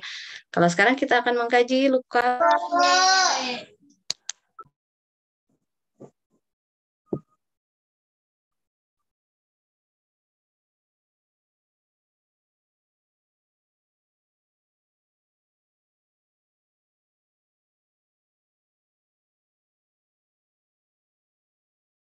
Oke. Di sini jadi penting untuk melakukan misalnya bagaimana kita melakukan pengkajian awal terkait dengan luka gitu ya. Bagaimana bayi saat dilakukan tindakan invasif, apakah ada luka dan lain sebagainya. Dan menentukan misalnya jenis topikal terapi. Nah, topikal terapi itu banyak kalau sekarang macamnya. Yang penting prinsipnya adalah moist. Apa pun misalnya jenis topikal terapinya ketika misalnya prinsipnya adalah moist. Ketika misalnya lukanya basah, bagaimana kita bikin lembab. Ketika lukanya kering, bagaimana kita bikin lembab. Artinya proses ini yang nanti uh, akan lebih diperdalam terkait dengan teknik-teknik untuk perawatan luka gitu ya. Uh, inovasinya banyak, misalnya baik yang menggunakan pendekatan alternatif misalnya tadi ya. Uh, ada juga yang memang menggunakan misalnya uh, yang sudah jadi pabrikan misalnya. Kalau yang alternatif mungkin eh, teman-teman uh, sering mendengar misalnya terkait dengan pemberian madu pada luka. Nah, itu kan udah banyak evidence base-nya tuh terkait madu hanya saja harus diperhatikan jenis madu yang digunakannya apa gitu ya. Jadi nanti boleh misalnya mau menggunakan perawatan luka dengan menggunakan madu boleh gitu ya. Apalagi misalnya pada pasien-pasien dengan pasien misalnya di anak itu pasien dengan mukositis ya pada pasien-pasien post kemoterapi itu biasanya sering sariawan tuh di area mulutnya atau di area mukasanya nah itu biasanya diberikan dengan pemberian uh, madu gitu seperti itu. Itu juga artinya eh, hal-hal uh, yang memang secara epiden uh, epiden base sekarang sudah menjadi uh, satu bentuk yang oh itu berhasil gitu ya. Uh, sudah menentukan bahwa secara penelitian itu sudah bisa dilakukan karena memang hasilnya menunjukkan hasil yang bagus terkait dengan uh, misalnya efek samping pos kemoterapi, adanya mukositis, kemudian uh, diberikan madu, ternyata proses penyembuhannya lebih cepat. Oke. Nah ini identifikasi resiko kalau di kita juga banyak ya untuk bundlingnya jadi artinya monitoring gitu ya. Banyak memang hal-hal yang memang oleh perawat itu kita lakukan sebagai bentuk monitoring. Monitoring terkait dengan pengisian eh, bandel-bandel infeksi atau ya misalnya dari eh, bagi ketika pasien terpasang ventilator bagaimana kita harus melakukan screening terkait dengan ventilator tersebut gitu ya. Atau misalnya pasien terpasang kateter misalnya terpasang kateter eh, bagaimana kita harus melakukan screening? Apa saja yang harus dilihat di eh, screening tersebut? Ini untuk menunjukkan apakah nanti terjadi infeksi atau tidak. Jadi untuk mencegah agar tidak terjadi infeksi ketika terjadi pemasangan kateter. Bagaimana misalnya kapan kita harus melakukan uh, tindakan pemasangan kembali, bagaimana kapan kita harus melepas dan lain sebagainya itu sudah ada biasanya di format yang dilakukan. Nah, ketika SOP itu berjalan, uh, kita bisa mengurangi hal-hal yang terkait dengan uh, terjadinya infeksi uh, saluran kemih misalnya seperti itu. Oke, tadi minimal handling sudah ya biasanya pada minimal handling ini pada bayi. Bagaimana tadi uh, kita katakan bahwa si bayi ini jangan terlalu sering kita ganggu gitu ya, tetapi berikan dia kesempatan untuk lebih banyak istirahat. Oke, ini penjagaan infeksi. Yang penting adalah bagaimana kita melakukan pipe moment ya. Jadi bagaimana kita melakukan pipe moment pada saat kita melakukan uh, hand hygiene ya mencuci tangan. Nah ini biasanya yang harus gitu ya di, selalu diingatkan dan memang ini harusnya sudah menjadi hal yang dilakukan atau menjadi satu bentuk kebiasaan yang dilakukan oleh perawat. Gitu. Kalau dulu mungkin uh, ya kita cuci tangan kalau kotor atau misalnya kalau memang mau melakukan tindakan. Kalau sekarang uh, pipe momennya itu udah ada di apa sudah menjadi satpamnya gitu ya. Bagaimana kita harus melakukan uh, cuci tangan gitu pada saat kita. Bahkan pada saat kita hanya meninggalkan ruangan pasien juga kita harus melakukan cuci tangan gitu. Padahal biasanya kalau kita dulu meninggalkan ruangan pasien ya udah weh udah selesai gitu ya. Tapi kalau sekarang meninggalkan ruangan pasien juga harus dilakukan cuci tangan karena memang masuk ke dalam pipe moment. Oke okay. Sip. nah ini penggunaan APD ya. Jadi bagaimana kita melakukan APD mulai uh, yang tepat kemudian cuci tangan Oke, jadi nanti kalau misalnya APD juga tidak harus berlebihan ya. Kalau APD itu kan mulai dari uh, bagaimana perlindungan mata, perlindungan kepala, kemudian hidung gitu ya, uh, penggunaan masker gitu ya, terkait dengan respiratori, kemudian bagaimana penggunaan sarung tangan, kemudian juga penggunaan dari alas kaki. Nah ini ditentukan sesuai dengan nanti level uh, yang harus dipakai gitu ya, level APD-nya. Oke, nah ini cuci tangan, ini yang harus menjadi uh, satu bentuk keharusan Nah, yang yang tidak kalah penting adalah bagaimana kita memperhatikan lingkungan ya. Kalau di anak atau misalnya terutama ini yang paling penting itu di bayi itu bagaimana kita memberikan ventilasi ya. Kemudian pencahayaan juga ya dan bagaimana kebersihan. Kalau dulu mungkin pencahayaan kita senangnya terang benderang gitu sebentar kalau di neonatus atau di bayi itu justru uh, ada ya. Ada aturannya tidak boleh terlalu uh, terang gitu ya karena tadi prosesnya adalah ketika misalnya anak atau neonatus masih dalam tahap tumbuh kembang, dia pun masih adaptasi terhadap uh, proses perubahan ketika dia berada dalam uh, apa perut ibu kemudian keluar gitu ya. Uh, tidak boleh misalnya terlalu terang cahayanya gitu ya. Ini pun tadi sesuai dengan perkembangannya pelan-pelan gitu ya terkait dengan ventilasi, kemudian uh, nutrisi, kemudian juga terkait dengan uh, lingkungan yang harus kita jaga, termasuk suara. Nah, termasuk suara perawat, suara mesin itu juga uh, kita atur gitu ya, diatur agar memang tidak terlalu misalnya mengakibatkan stres untuk bayi-bayi yang dirawat. Oke. Okay ini penggunaan chlorhexidin. Nah, kalau dulu misalnya pada saat kita operasi itu uh, ada yang harus kita penting dilakukan adalah uh, skin preparation. Bagaimana kita pada saat preoperasi itu uh, anak yang akan dilakukan tindakan operasi itu harus dilakukan atau dimandikan dengan menggunakan chlorhexidin. Nah, kalau, kalau dulu mungkin uh, ya mandi teh mandi biasa aja gitu ya. Menggunakan sabun-sabun biasa. Kalau sekarang uh, salah satu tahapan yang kita lakukan adalah dengan cleansingnya dengan menggunakan sabun chlorhexidin ya. Jadi chlorhexidin ini uh, sudah ada penelitiannya bahwa dia memang uh, bagus atau misalnya mengurangi nanti terjadinya resiko koloni kuman gitu ya jadi uh, biasanya pada pasien-pasien preoperasi itu H-1 sore harinya mandi dengan chlorhexidin, mandi keramas, kemudian pagi sebelum berangkat juga kita lakukan lagi mandi misalnya dengan menggunakan chlorhexidin.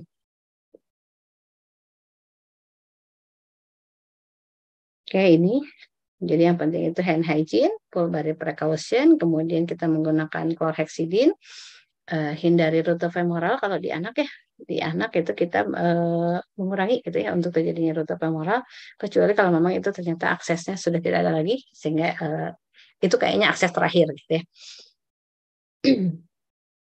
Kemudian ini developmental guideline, jadi bagaimana uh, kita menggunakan atau mengizinkan penggunaan pacifier, kayak tadi empeng, misalnya gunakan suara yang lembut, kemudian boleh menggunakan sentuhan, ayunan, pelukan pada bayi, misalnya pembedongan itu kita dengan menggunakan nesti, pertahankan kulit bayi tetap hangat, temperatur, dan kalau memang misalnya masih menggunakan inkubator, inkubator kalau misalnya tidak ya menggunakan misalnya selimut yang hangat sesuai nanti uh, dilihat dari berat badan bayi dan juga lihat dari stabilitas uh, hemodinamik. Kemudian hilangkan rasa takut yang dialami orang tua. Nah ini pentingnya kita melakukan family center care, parent stop communication dan edukasi. Kemudian eh, bayi juga merasakan sakit. Jadi kalau misalnya pada kasus neonatus, jangan jangan tidak berha- jangan berpikiran bahwa eh, bayi mah tidak sensitivitas atau nyerinya misalnya berkurang gitu ya. Sama bayi juga merasakan sakit sehingga eh, asesmen dan manajemen nyeri yang tepat juga harus kita lakukan gitu ya. Nah ini apalagi kalau di rumah sakit sekarang tidak boleh misalnya eh, pasien itu tidak boleh mengalami nyeri sehingga kalau misalnya nyeri harus segera dilakukan intervensi pemberian ya. Uh, intervensinya seperti apa? Bisa uh, intervensi yang memang sifatnya non farmakologi atau farmakologi. Ya tergantung nanti dari tingkat uh, nyeri yang dialami. Nah ini family center care kalau di uh, anak ya, bagaimana misalnya ketika orang tua cemas atau stres, bagaimana peran perawat di sini untuk mengurangi kecemasan dan stres, mendukung peran aktif atau kolaborasi keluarga, kemudian uh, memahami perbedaan kultur, pengetahuan dan kopi, kemudian juga harus uh, selalu kita melibatkan keluarga dalam setiap pengambilan keputusan, gitu. Ya. Jadi jangan sampai kita memutuskan untuk keluarga, tetapi harus keluarga yang bilang bahwa dia akan melakukan hal tersebut. Nah ini need cap yang memang uh, penting untuk developmental pada uh, bayi, terutama bagaimana peran serta keluarga dan kita harus memperhatikan uh, proteksi dan siklus tidur, posisi dan nesting, kemudian bagaimana kita memperhatikan suara, suhu, kemudian sentuhan, nutrisi, respirasi, cahaya, proteksi kulit sampai dengan manajemen nyeri. Oke. Nah, ini stres biasanya emosi yang dialami keluarga atau orang tua ketika misalnya anaknya mau dilakukan operasi. Uh, ada perasaan atau misalnya ada ketakutan di keluarga itu bahwa anaknya bisa meninggal. Kemudian anak akan merasakan nyeri. Kemudian perubahan pada tubuh anak kecacatan karena misalnya dilakukan tindakan operasi.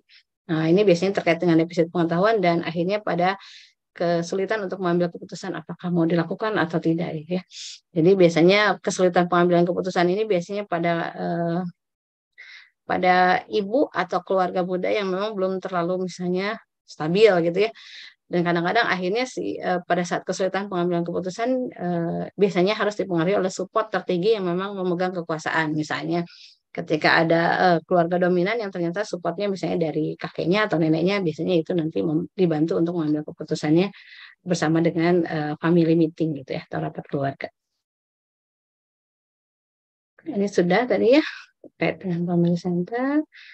Ini pentingnya. Nah ini uh, riset atau terkait dengan pentingnya pre-operational education. Jadi intervensi dari preoperatif ini menjadi hal yang penting yang memang akan memberikan uh, apa support dan akhirnya uh, motivasi untuk keluarga ketika melakukan uh, tindakan selanjutnya. Jadi artinya uh, implementasi di preoperasi ter terutama terkait dengan edukasi ini merupakan hal yang penting. Kalau ini contohnya pada pasien dengan congenital heart disease, tetapi ketika di pasien lain pun ketika ini diterapkan uh, memang akan memberikan uh, efek yang lebih luar biasa ketika orang tua sudah jelas di awal terkait fase preoperasi terkait dengan uh, dengan progres atau penyakit yang akan dijalani oleh uh, perawatan selanjutnya oleh anaknya. Ini manfaat pemberian edukasi mungkin nanti bisa dilihat.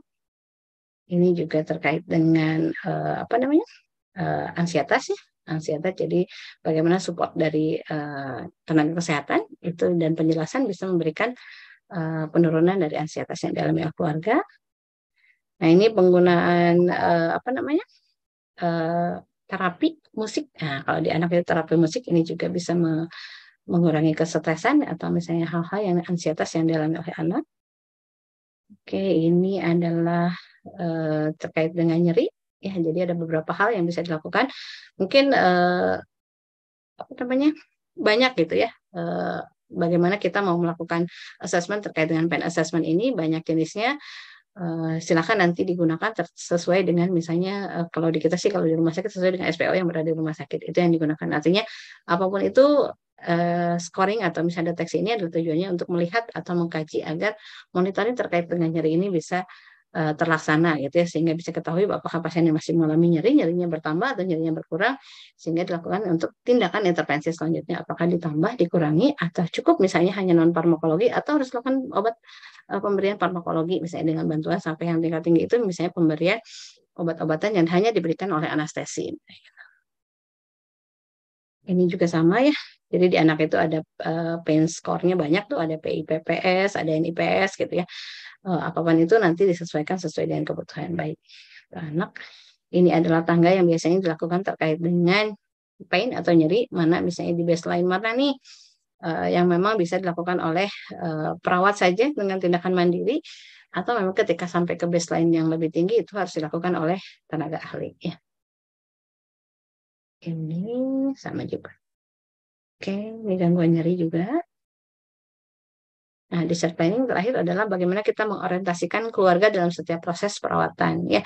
Jadi ketika misalnya anak sudah uh, dilakukan operasi dari awal sudah kita lakukan discharge planning nih, kayak misalnya tadi pasiennya uh, pasiennya misalnya mau formasi anorektal dilakukan tindakan kolostomi dari awal kita sudah akan melakukan discharge planning bahwa uh, pasien ini akan membawa pasien ini ke rumah akan misalnya dengan terpasang kolostomi. Jadi discharge planning di awal diorientasikan adalah bagaimana keluarga targetnya adalah nanti kita bisa melakukan perawatan uh, stoma secara mandiri. Jadi orientasikan keluarga dalam setiap proses perawatan, libatkan keluarga dalam mengambil keputusan dalam proses perawatan, termasuk misalnya uh, siapa nanti akan terlibat dalam proses perawatannya, kemudian sumber daya apa yang harus disiapkan, apa saja pilihannya, misalnya apa menggunakan sumber daya A, B, dan C misalnya atau misalnya dengan menggunakan fasilitas yang mana itu bisa diindikan lagi. Informasikan dan jelaskan setiap perkembangan penyakit, kemudian ajarkan dan uh, bagaimana cara perawatan di rumah. Jadi kita harus pastikan bahwa ketika misalnya pasien yang terpasang kolostomi, keluarganya itu sudah harus bisa mampu untuk melakukan perawatan kolostomi di rumah. Termasuk juga kalau misalnya ada hal-hal yang terkait dengan masalah, misalnya di awal mungkin kita dampingi, ketika ada problem atau apa itu uh, uh, keluarga atau pasien uh, bisa mencari pertolongan misalnya paling tidak kalau sekarang kan kemudahan teknologi ya jadi ada HP atau misalnya ada WA yang bisa kita bantu. Kalau dulu mungkin tidak terbayang gitu, Bu, cina ini lukanya kayak gini-gini, kumaha. Kalau sekarang makan cobain fotoin misalnya. Ketika difotoin, oh ini Bu kayak gini. Oh, jadi kita bisa memberikan instruksi melalui uh, apa melalui uh, foto yang diberikan, oh Bu ini harus seperti ini, misalnya harus ditambah apa-apa gitu ya, dan lebih jelas. Kalau sekarang, nah artinya kemajuan teknologi juga memudahkan kita uh, perawat misalnya untuk melakukan uh, monitoring gitu ya terkait dengan misalnya hal-hal yang mungkin dulu tidak terjangkau. Contoh misalnya kalau uh, di saya misalnya kita di rumah sakit uh, tersier misalnya, pasiennya itu misalnya dulu tuh pasiennya mungkin di Tasik atau apa, kita baru bisa mengevaluasi ketika pasiennya misalnya datang lagi kontrol. Tapi kalau sekarang enggak ya. Jadi ketika pasiennya di Tasik atau pasiennya di Sukabumi atau apa, kita bisa misalnya, Bu, liatin fotonya seperti apa, kelihatan, oh seperti ini, sehingga kita akan lebih mudah, oh bagus Bu, ibunya pintar, sudah bisa misalnya memberikan itu. Jadi kita bisa memberikan penguatan positif dan juga bisa memberikan uh, apa uh, edukasi untuk selanjutnya itu jadi lebih mudah gitu ya.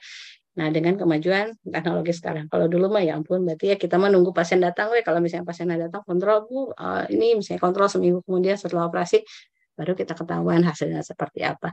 Kalau sekarang alhamdulillah ya dengan teknologi uh, hal seperti itu bisa dijembatani lebih mudah gitu.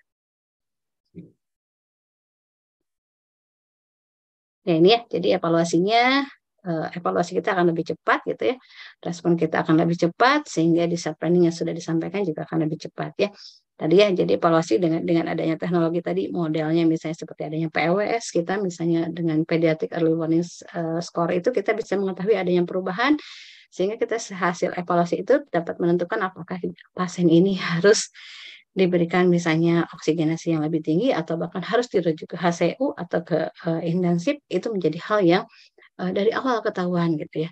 Ataupun misalnya terkait nutrisi tadi apakah harus segera misalnya kalau dengan scoring segini itu harus jadi uh, kajian dari misalnya teman-teman di nutrisionis gitu ya.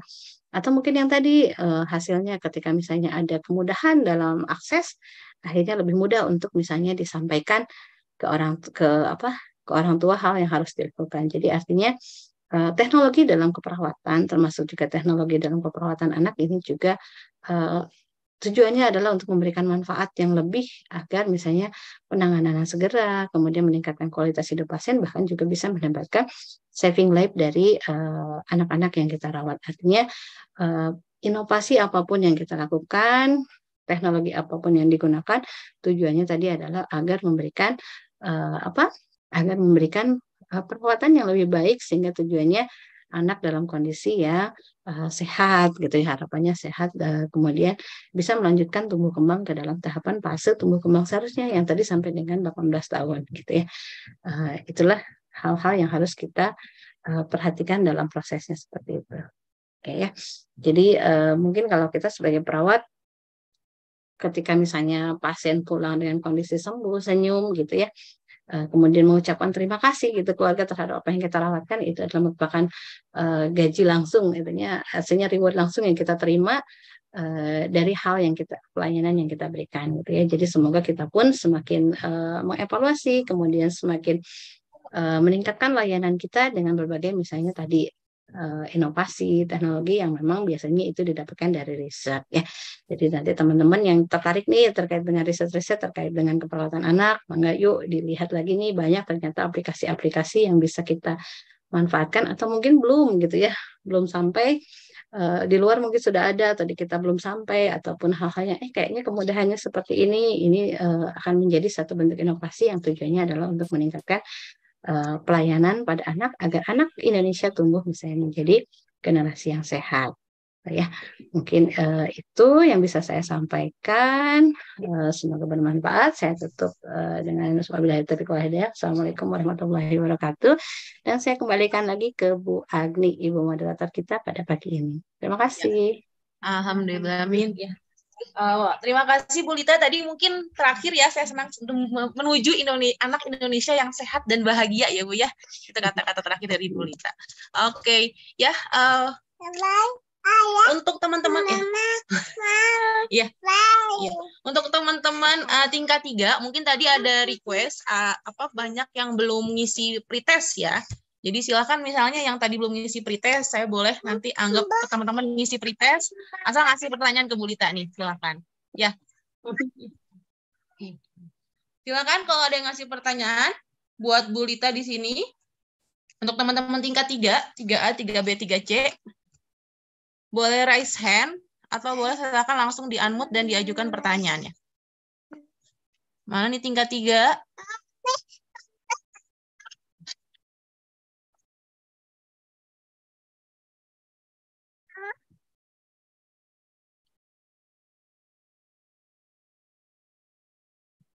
Halo?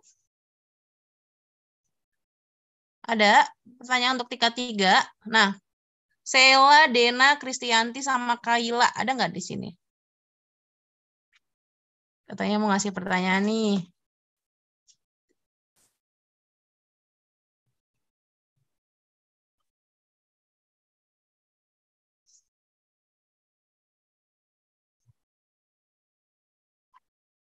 Halo, teman-teman tingkat tiga ada? Silahkan.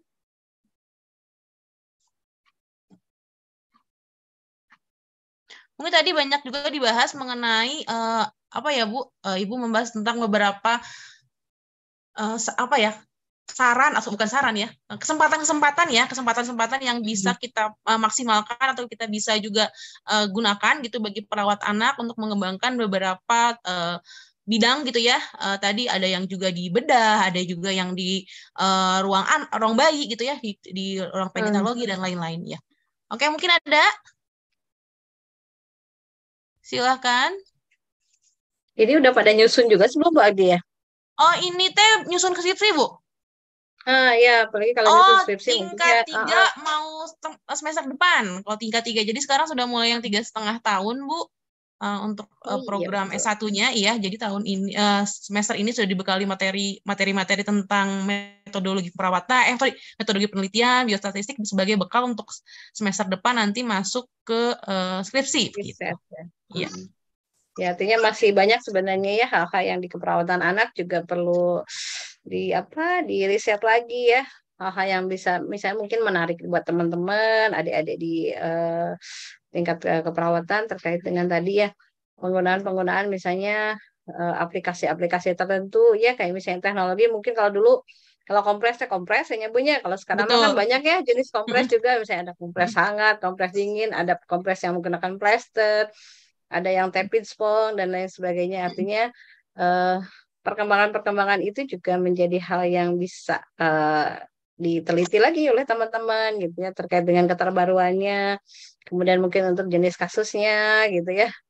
Kemudian juga kalau dibedah mungkin tadi terkait dengan nyeri. Nah ini terkait dengan nyeri itu sebenarnya kan eh, banyak ya eh, yang apa yang bisa eh, di apa inovasi yang mungkin nanti eh, bisa dilanjutkan oleh teman-teman ya preset-preset muda gitu terkait dengan nyeri pada anak gitu ya karena bedah mah biasanya nyeri cemas gitu ya ininya teh kasus yang ah, yang paling ini ya teh bagaimana kita membuat kecemasan kurang pada anak gitu ya nah inovasi-inovasi seperti itu mungkin yang yang apa yang perlu ya masih perlu dikembangkan gitu ya Oke. Ya, tadi juga katanya Bu ya kalau hipertermi kan dulu mah orang mungkin nyangkanya kompres kompres di dahi aja ya. Padahal kan bukan itu ya. Maksudnya kompres, ngapain kompres di dahi? Padahal uh, sekarang ada penelitian-penelitian terbaru uh, kompresnya yang di bagian-bagian yang memang memiliki pembuluh darah yang besar gitu ya di leher, di uh, femoral gitu ya. Nah, itu juga uh, apa ya update-update ilmu terkini gitu teman-teman. Jadi jangan sampai ante tingkat tiga ya apa masih keperawatan bilang kompres anak panas itu di dahi ya. Itu tidak di dahi. Ya kalau kompres yang mungkin bayi fever di dahi ya naruhnya. Tapi kalau kompres yang teman-teman lakukan tepid spong gitu ya kompres hangat kompres eh, suhu normal itu bukan di dahi oke ini mungkin ada satu dari Dini ya eh, si pen ya. Si pen itu apa ya kayak asisten dosen gitu ya. Mangga Dini. Ada Dini? Ada Ibu. ya silakan Din. Boleh dinyalakan kameranya juga. Ibu, Ibu mohon maaf izin on cam soalnya jaringannya lagi gak bagus oh iya. Oke silakan Din Eh, Assalamualaikum warahmatullahi wabarakatuh. Perkenalkan nama saya Dini Prakartia Cahyandi dari kelas eh, 3B. Eh, izin bertanya Ibu untuk eh, kompres hangat itu tadi sudah dijelaskan kan? Eh, jika misalnya eh, pakai bye-bye bye bye bye paper sama yang dikompres manual itu lebih efektif eh, untuk menurunkan panas yang mana ya Ibu? Oke, bye bye paper sama apa tadi kompres manual ya? Liber sama kompres manual Bu ya Kompres manual itu apa ya yang dimaksudnya ya? kompres di dahi juga gitu ya? kompres di dahi maksudnya Din Ya Ibu kayak yang pakai itu air hangat geningan Ibu. oh air hangat oh oke Jadi memang eh, kalau di beberapa penelitian ini sudah mulai ya Bu Agni diteliti bagaimana perbedaan antara misalnya kompres hang kompres apa? Kompres ba- eh, menggunakan alat ya misalnya contoh kita sebut merek gitu ya. Pokoknya eh, apa namanya? strip yang memang ditempelkan di dahi yang memang produk eh, pabrikan dengan eh, kompres manual biasa itu ada satu penelitian yang mengatakan bahwa itu eh, tidak terlalu ber- tidak terlalu perbedaan gitu ya tidak terlalu jauh berbeda antara misalnya penggunaan kompres hangat misalnya di dahi dengan penggunaan di eh, bye bye paper atau misalnya eh, produk lain yang memang misalnya ditempelkan di dahi gitu ya. Cuman yang biasanya yang beberapa yang berbeda itu adalah ketika kita menggunakan tepid spong gitu ya. Ketika tepid spong itu memang eh, ada signifikan perbedaannya eh, lebih cepat untuk penurunannya gitu ya. Lebih cepat penurunannya dan juga lebih eh, turunnya teh eh, bertahap tapi teh terlihat gitu penurunannya dibanding dengan yang eh, strip gitu ya menggunakan strip gitu ya tetapi eh, itu mungkin beberapa yang saya baca tetapi harus diupdate lagi ya. Karena kemungkinan kalau sekarang kalau dulu mungkin yang nempelnya apa kalau sekarang mungkin penelitian juga pabrikan juga meneliti lagi. Misalnya zatnya apa dan lain sebagainya. Sehingga Eh, Nah, ini juga perlu dilihat lagi. Karena kan ada karakteristik nih yang ditempel jenis tempel itu apakah merek A, merek B misalnya.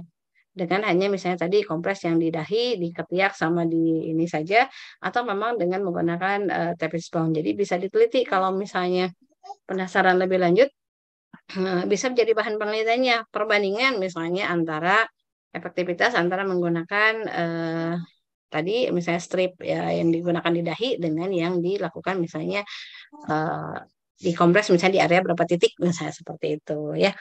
Gitu ya Dini ya. Jadi memang eh, penelitiannya masih eh, ada beberapa yang memang mengatakan tidak terlalu signifikan artinya perbedaannya. Ada juga kalau misalnya membandingkan dengan tapis long ternyata lebih eh, bagus misalnya untuk tapis long maka nanti eh, silahkan dicari lagi mungkin ya dikembalikan ke Dini untuk PR-nya coba Dini searching lagi ya gitu ya. Yang Baik. update sekarang siapa tahu penelitiannya sudah lebih banyak lagi gitu terkait hal seperti itu. Itu ya mungkin Bu Asfi Teh Ya, Oke, terima kasih Dini pertanyaannya. Eh, tadi mungkin untuk pasien-pasien yang eh, demam, anak demam yang demamnya mungkin karena hiperpireksia Bu ya bisa sampai 41, 42 gitu ya yang anak-anak cancer eh, di apa dikasih ter- eh, paracetamol sudah pakai drip juga masih panas gitu ya boleh dikombinasikan misalnya dengan tadi eh, tepid splong gitu. Jadi ada pasien-pasien anak yang ini teman-teman bahkan sam- suhunya bisa bisa sangat sangat tinggi gitu ya sudah dikasih obat paracetamol juga tidak turun-turun. Nah tadi peran perawat kita masuk memberikan uh, tepis plong secara berkala dikasih kompres bagian-bagian yang eh, memang memiliki pembuluh darah besar. Itu bagus juga. Oke ya. Terima kasih eh, Dini atas pertanyaannya. Mungkin yang lain silahkan ada lagi teman-teman dari kelas tiga Assalamualaikum Ibu, izin bertanya. oke siapa nih Cynthia oke silakan Cynthia Sebelumnya perkenalkan saya Cynthia dari kelas 3A. Tadi sudah dijelaskan juga oleh Ibu Lita mengenai operasi pada anak kongenital yang dilaksanakan secara bertahap. Dan itu biasanya sampai tiga kali ya Bu, kalau tidak salah. Nah, eh, untuk mengatasi ataupun menghindari stres hospitalisasi pada anak itu bagaimana ya Bu? Terima kasih. Oke, baik. bagus Cukup jelas ya. Saya. Jadi eh, mungkin harus dijelaskan juga ya bahwa tadi memang saya menyampaikan bahwa operasinya bisa sampai tiga kali. Nah, operasi tiga kali ini tidak da- tidak dilakukan dalam satu waktu, ya. Jadi ada jeda waktu eh, dalam setiap operasi. Anak itu akan melewati tahapan pre, pos, eh, pre, intra, dan pos operasi. Itu di satu tahapan. Jadi nanti anaknya, misalnya contoh nih, kasusnya misalnya hmm, kita ini kan aja kasus atrasiani ya atau misalnya kasus tidak memiliki lubang anus. Nah, pasiennya itu akan dilakukan tindakan operasi misalnya pembuatan kolostomi. Pada saat pembuatan kolostomi di preoperasinya kita harus jelaskan di awal pada ibunya bahwa anak ini nanti akan ada lubang eh, BAB yang keluar lewat dinding abdomen atau kita sebut kolostomi. Nah, setelah ibunya hafal, paham, dan nanti akan ada perawatan selanjutnya, pasien dioperasi, kemudian setelah operasi diajarkan bagaimana cara melakukan perawatannya eh, operasi tersebut, setelah selesai operasi tersebut, maka pasien akan pulang kalau ibunya sudah bisa melakukan perawatan stoma di rumah. Nah, ketika sudah melakukan perawatan stoma di rumah, pasien pulang, itu nunggu dulu perkembangan, nunggu dulu perkembangan. Jadi tahapannya selesai untuk tahap yang satu, pasien akan menunggu eh, menunggu untuk penjadwalan di tahap operasi yang berikutnya.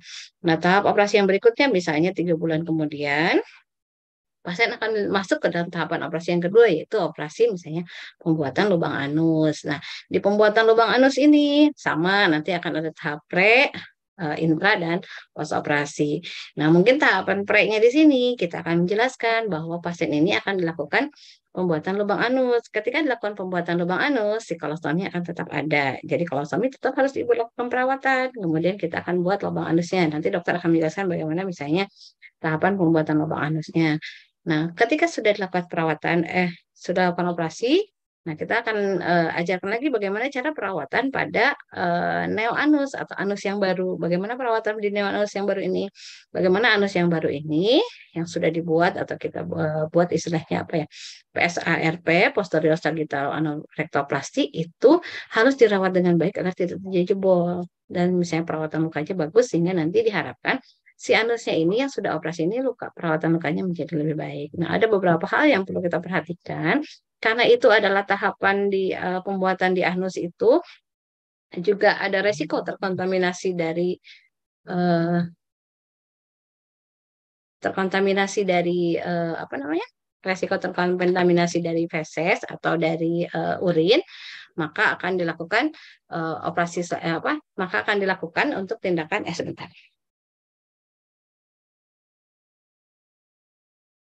Karena pada saat misalnya sudah dilakukan pembuatan lubang anus, maka operasi yang eh, kedua ini harus segera misalnya dilakukan perawatan. Bagaimana agar si lubang anusnya ini, luka sekitar lubang anusnya menjadi lebih baik. Kemudian, eh, izin sebentar ya Bu.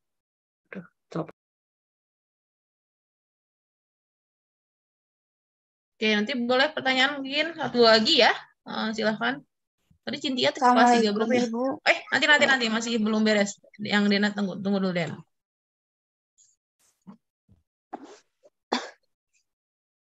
Ibu ditanya masih nelpon. Nanti udah ini Dena ya. Ibu.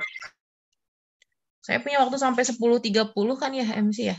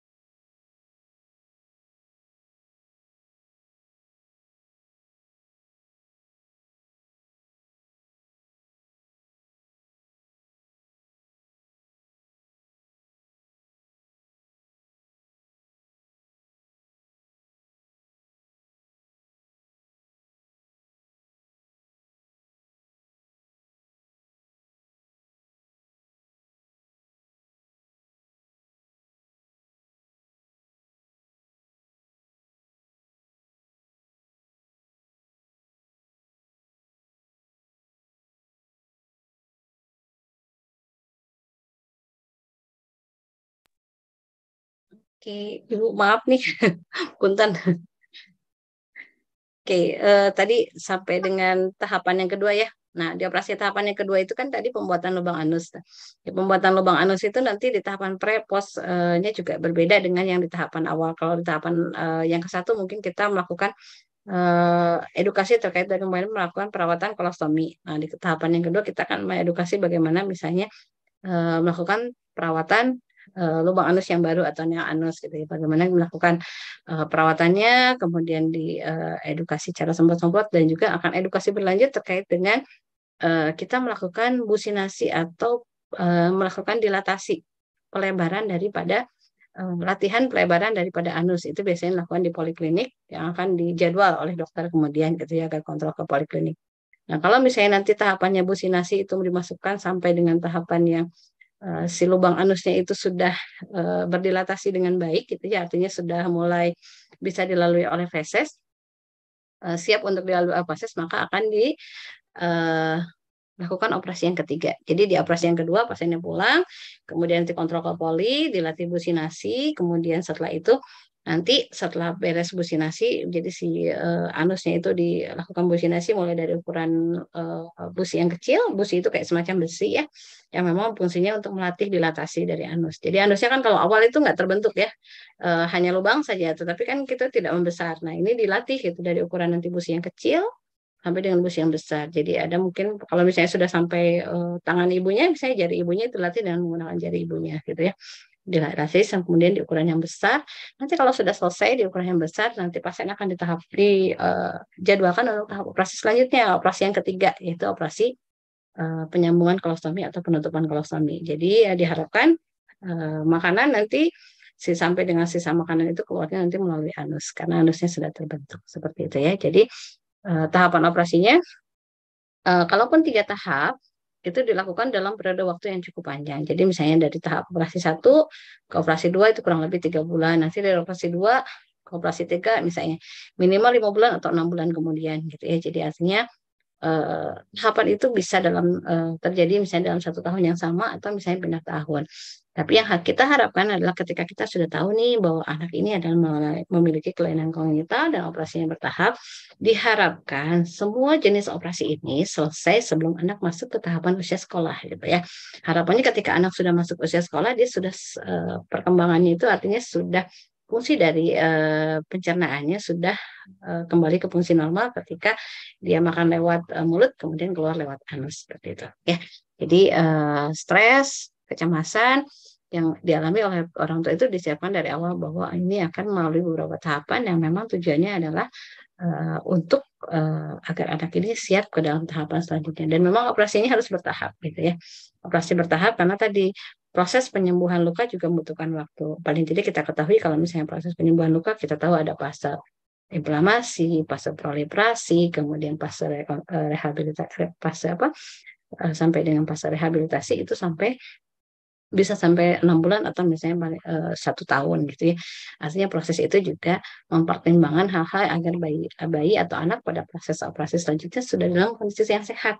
Ketika sehat ya siap untuk operasi, tentu dampak dari operasi ada pemulihan lagi ya, nutrisinya diperbaiki lagi, sehat. Ketika sehat, nutrisi bagus, maka ketika dia masuk ke tahapan operasi selanjutnya sudah siap dalam kondisi yang lebih optimal.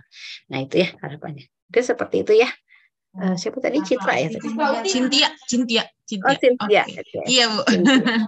Baik, ya, Ibu, terima kasih banyak Ibu atas penjelasannya. Iya. Di pasien-pasien yang mungkin tadi kata Bu Lita uh, akan dibuginasi ini akan mungkin langganan Bu ya ke rumah sakit ya. Langganan karena iya, beberapa kali operasi ya uh, dicolokin aja ya pantatnya gitu Bu ya, di poli gitu ya untuk membesarkan iya, tadi karena memang betul. Betul. Ya.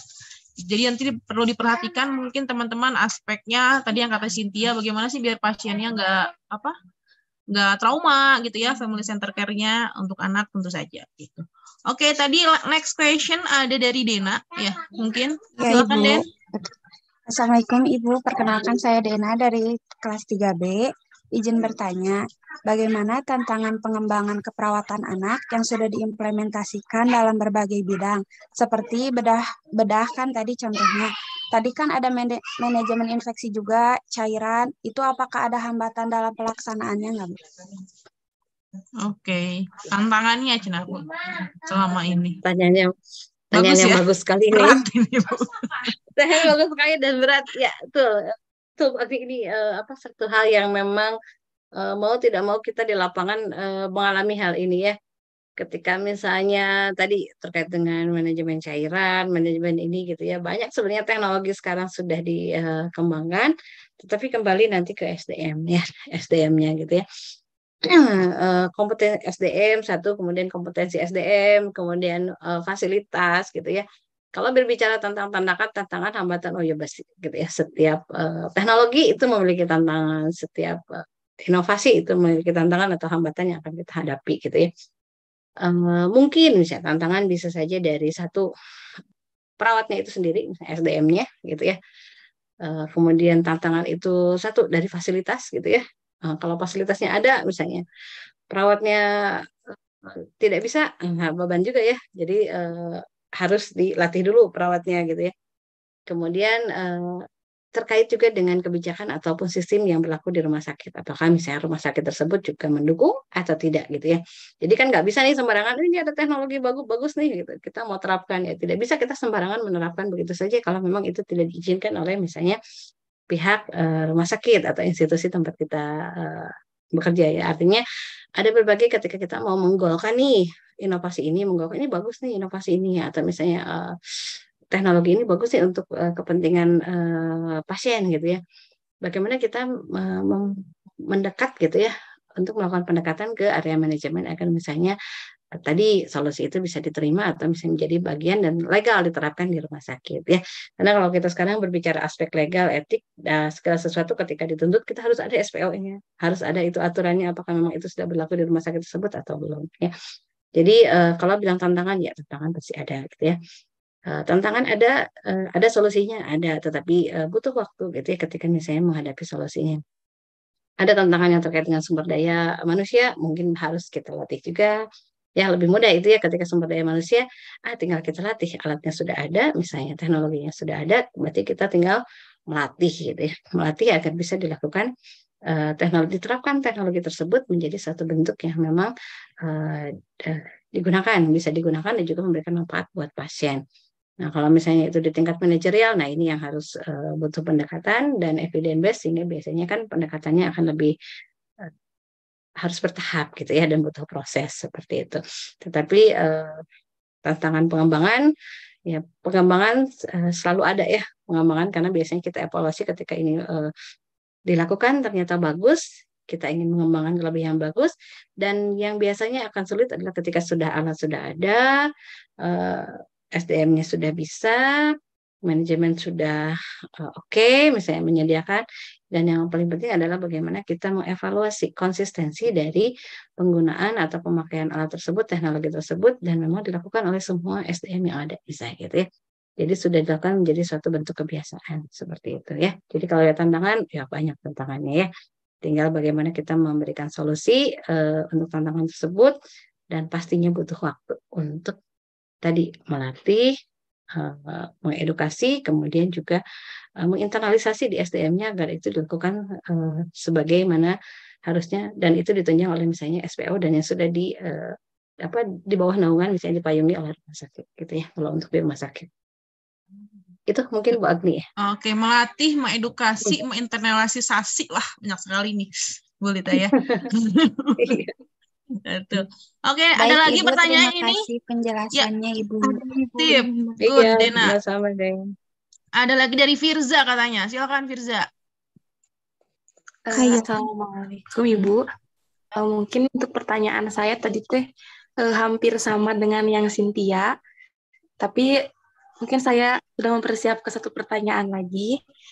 Eh, kan tadi itu ada peran perawat untuk mengurangi kecemasan dan juga stres untuk orang tua. Hmm. Mungkin saya izin bertanya mengenai salah satu contoh cara untuk mengurangi kecemasan dan stres pada orang tua itu seperti apa, Ibu?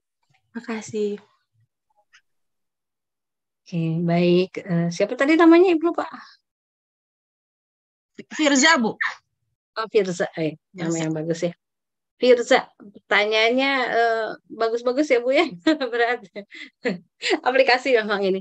Bagaimana eh, kita mengurangi ansietas atau kecemasan yang dialami oleh keluarga. Nah ini eh, kalau misalnya kita lihat dulu misalnya faktor apa yang membuat keluarga cemas, gitu ya. Kecemasan keluarga ini karena apa? Jadi kita bisa melakukan intervensi kalau kita tahu kaji dulu kecemasannya apa ya. Jadi kita kaji si ibu atau si orang tuanya cemasnya karena apa. Nanti ketika eh, melakukan pendekatan, kita gali nih kecemasannya seperti apa.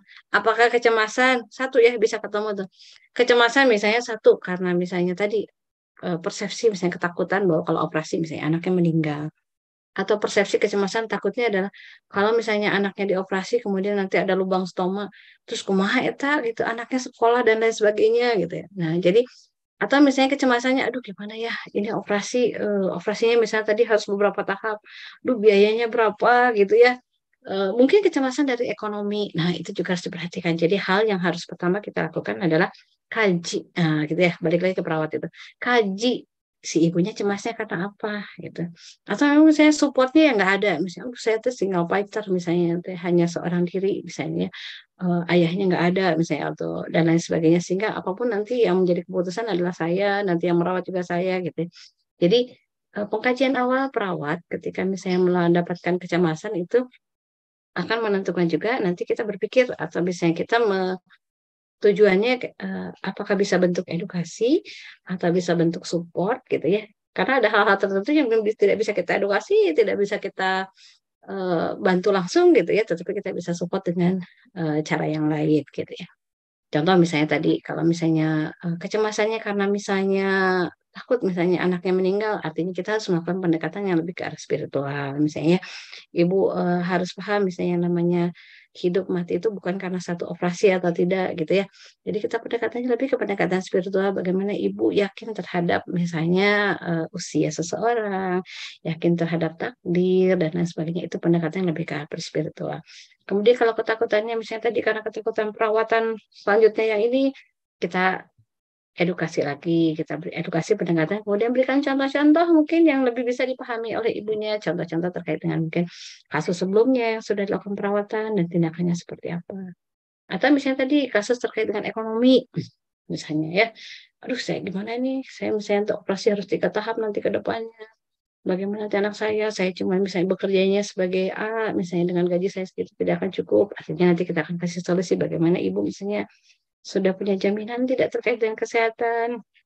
Kalau misalnya tidak terkait jaminan kesehatan, bisa kita alokasikan misalnya beberapa kasus ya, beberapa kasus misalnya dialokasikan misalnya ibunya untuk ikut BPJS kah atau misalnya ikut dengan uh, program kita bisa misalnya di rumah sakit kadang ada beberapa uh, platform kerjasama yang memang bisa dibantu gitu ya jadi kita bantu atau misalnya kita arahkan ke dinas sosial atau social worker gitu ya agar nanti ke depannya uh, permasalahan ini tidak menjadi kendala untuk pengobatan anak selanjutnya jadi artinya uh, banyak hal yang bisa kita lakukan atau misalnya bisa kita bisa kita misalnya ke Jabar Quick Response kalau di Jabar gitu ya jadi atau ke Basnas lewatnya. Jadi hal apa pun bisa kita lakukan pendekatan agar nanti misalnya kalau terkait masalah biaya gitu ya. Jadi tadi apa pun itu misalnya permasalahannya kita kaji di awal permasalahannya apa sehingga nanti kita bisa menentukan bentuk realnya gitu ya solusi yang bisa kita eh, tawarkan seperti apa. Kasusnya seperti itu. Kadang-kadang kan kalau misalnya kasus-kasus kecelakaan lalu lintas atau apa itu Eh, masalah-masalah terkait dengan biaya juga cukup besar, kemudian ternyata pasien yang tidak punya BPJS gitu ya, kecemasannya tinggi. Nah, itu bisa kita arahkan misalnya uh, tambah atau ikuti ke platform yang sudah kerjasama dengan rumah sakit, misalnya contoh kita bisa.com atau apa apa pun itu ya. Atau memang hal yang lain. Misalnya tadi uh, tag misalnya LSM tertentu yang memang dia memberikan solusi untuk membantu pasien-pasien uh, uh, dengan masalah di finansial gitu ya. Mungkin seperti itu ya. Jadi kecemasannya nanti dikaji dulu. Yang penting edukasi adalah kita harus lihat pendekatannya. Kemudian ketika keluarga siap edukasi, itu jangan menjanjikan, nah ini ya, kita tidak boleh menjanjikan bahwa, ah bu tenang, yang lain ibu, anak ibu pasti akan berhasil, tidak bisa menjanjikan seperti itu. Jangan buat janji yang tidak uh, apa tidak boleh lah. Kita tidak boleh menjamin atau menjanjikan tetapi yang harus kita berikan adalah memberikan real uh, plus minusnya. Tetap dikasih misalnya. Kalaupun operasi kecil apa pun tetap kita kasih uh, kemungkinan terburuknya resikonya dan kemungkinan yang lebih uh, positifnya. Jadi sisi positif negatifnya tetap diberikan agar keluarga tetap logis gitu ya ketika menerima sesuatu. Yang penting mah jujur terbuka. Kemudian ketika dia bertanya kita jelaskan kembali uh, sesuai dengan tadi ya permasalahan di awal cemas atau ansiedad karena Oke, mungkin itu ya Firsa Bu Agni. Sip. Oke, betul. Jangan mengumbar janji yang belum pasti ya, Bu ya intinya. Sip. Enggak boleh. Enggak boleh Nanti janji. iya. Karena nanti biasanya nagih okay. Bu ya, pasiennya nagih gitu. Karena kata suster yeah. ini, kata perawat ini, gini-gini ah, gini. Itu. Gitu. Oh, nanti PHP nggak boleh ya Bu, nggak boleh, boleh PHP. Dong. Jangan jadi suster yang perawat yang PHP begitu. Kita mengupayakan yang terbaik. Oke, kita akan usahakan ya Bu. Gitu. Jadi uh, komunikasinya gitu bisa dilatih ya teman-teman. Hmm. Words words by words-nya itu memang harus praktis terus gitu. Ya. Oke, mungkin last question ya karena ini uh, five minute lagi. Boleh pertanyaan terakhir. Siapa nih? Kayla Ibu. Kayla. Oke, Kayla dari kelas 3B. Silahkan Kayla. Tapi tadi uh, pertanyaannya hampir sama kayak Firza, Bu. Oh, sama Firza. Jadi, hmm. mau ditanyakan apa enggak nih? Iya. Oh, boleh. Apa nih? Jadi kan tadi tadi cara spesifik untuk menghilangkan rasa takut yang dialami oleh orang tua hmm. itu dengan cara penanganan family center care, parent start communication sama edukasi. Nah, apakah komunikasi dan edukasi edukasi aja udah cukup efektif untuk menurunkan kecemasan pada orang tua? Terima kasih. Oke, okay, baik. Uh, terima kasih uh, pertanyaan last question ya. Oke. Okay. Uh, komunikasi dan edukasi ya itu merupakan cara efektif dan paling mudah yang memang bisa kita lakukan gitu ya. E, cuma nanti bentuk komunikasi mah e, itu mah tergantung dari pendekatan awalnya nanti ya kita ini. Kemudian kalau misalnya edukasi, nah ini yang harus kita e, kembangkan lagi edukasi terkait dengan penyampaian bagaimana sih caranya kita mengedukasi seseorang agar dia mengerti gitu ya. Tadi berdasarkan latar belakangnya kita harus lihat gitu ya. Kemudian uh, bisa saja mungkin latar belakang, kemudian bahasa juga ya. Uh, saya pernah ngalamin ini bahasa um, apa kendala gitu ya ketika misalnya ternyata uh, pasien itu hanya mengerti bahasa Jawa gitu ya. Dia tidak bisa berbahasa Sunda dan juga tidak berbahasa Indonesia gitu ya. Artinya kita harus cari translator nih, translatornya yang memang bisa menyampaikan gitu dengan bahasa yang dimengerti gitu ya. Jadi uh, media komunikasi, kemudian bagaimana latar belakang tadi ya, karena media komunikasi itu misalnya apakah hanya cukup bisa dengan ngobrol-ngobrol saja atau memang butuh media ya, media misalnya baik, baik itu leaflet, gambar atau mungkin berupa video yang memang akan lebih mudah untuk menjadikan gambaran pada keluarga gitu ya. Sejauh ini memang uh, edukasi dan komunikasi ini menjadi kunci kunci yang uh, dapat uh, yang paling efektif gitu yang bisa digunakan untuk mengurangi kecemasan ataupun ansietas uh, yang dirasakan stres yang dirasakan oleh keluarga gitu ya. Selain tahapan tadi ya kita uh, mendengarkan gitu ya. Kuncinya tetap kita mendengarkan apa yang dikeluhkan oleh keluarga gitu ya. jangan sampai nanti uh, saking semangatnya gitu perawat ya kita tuh norowelang gitu ya itu nanti berbicara gitu menjelaskan tapi keluarganya bengong gitu ya. Atau misalnya ternyata dia tidak paham apa yang kita sampaikan. Nah itu jangan sampai. Jadi kita pun harus umpan balik kemudian mendengarkan barangkali pada saat nanti dia uh, uh, apa dia ada kesempatan ngobrol ternyata dia bisa menyampaikan apa yang hal-hal yang dirasakannya gitu. Ketika dia sudah terbuka kita harus menjadi pendengar yang baik. Ketika sudah menjadi pendengar yang baik kita lihat nanti permasalahannya apa baru kita lakukan. Pelan-pelan masuk lagi ke edukasi. Ketika seseorang sudah menyampaikan apa yang dia uh, apa dirasakan artinya dia sudah mulai trust sama kita ketika dia sudah mulai trust sama kita artinya kita bisa masuk untuk memberikan uh, edukasi gitu ya yang lebih baik gitu. Tujuannya seperti itu sih. Jadi intinya mah betul ya kuncinya komunikasi uh, dan edukasi itu tadi uh, yang penting adalah kita harus lihat latar belakangnya gitu ya. Jangan sampai kita melakukan edukasi yang menyinggung gitu ya uh, terkait dengan budaya, sosial atau misalnya hal-hal lain yang menjadi kebiasaan. Jangan sampai juga kita menyalahkan. Nah ini ya edukasi itu jangan sampai menyalahkan. Tetapi kalau misalnya itu gunakan bahasa yang lebih halus, tidak menyalahkan. Tapi misalnya oh ya ibu lakukan seperti itu bagus misalnya ya. Tetapi akan lebih baik lagi kalau misalnya nah seperti itu. Jadi ada bahasa-bahasa tertentu yang tidak boleh kita lakukan pada saat kita melakukan edukasi. Oh enggak bu, salah. Ah udah kalau udah kayak gitu sih ibu suka down gitu ya. Jangan tetapi misalnya, oh bu uh, ada yang lebih bagus misalnya yang ibu lakukan seperti ini. Tapi kalau misalnya dari yang misalnya ilmu atau misalnya yang kita kerjakan harus seperti ini bu, misalnya yang lebih baik. Ini udah ada penelitiannya dan lain sebagainya. Ini lebih misalnya efektif. Coba ibu coba misalnya seperti itu ya. Jadi dalam ilmu komunikasi gitu ya tidak boleh misalnya kita ada hal-hal yang memang tadi uh, makanya kita penting untuk latar belakang atau pengkajian di awal itu yaitu untuk mengetahui jangan sampai kita tidak uh, salah mengucapkan gitu ya ataupun uh, tadi menyalahkan. Nah itu tidak boleh ya. Kalau misalnya orang udah disalahkan udah males orang dengar ah nggak mau nih ibu ini nyalahin saya saya tidak ada kumaha. Mungkin seseorang ada yang memang ketika disalahkan dia menerima ada juga yang tidak akhirnya konfrontasi dengan kita gitu ya. Jadi hati-hati dalam berkomunikasi itu jadi kunci yang penting ya Oke, okay, itu Ibu. Uh... Oke, okay. terima kasih Bu Lita. Pas sekali kalau di saya sih 10.30 sesuai dengan rundown uh, schedule. Tadi satu jam untuk pemaparan, pas 30 menit untuk tanya jawab gitu. Terima kasih banyak Bu Lita untuk waktunya, untuk ya, apa ya ilmunya Bu. gitu ya pengalaman-pengalamannya Ibu share buat mahasiswa kami. Sebelum Bu Lita uh, mengakhiri sesinya, mungkin boleh dibuka dulu uh, kameranya, teman-teman kita uh, ambil gambar dulu bersama-sama ya. Silakan. Pertama ini untuk kelas 3A ya. Ini materi untuk tingkat 3A, 3B, 3C. Ya, boleh dibantu nanti uh, tim dokumentasi untuk mengabadikan momennya ya. Satu, dua, tiga. Ya, oke. Okay. Ini ada tiga ya Bu ya. Ada gambarannya ada cukup banyak nih. Ada 12, sorry 12. Sebagian aja yang bisa nih. Oke, satu, dua, tiga.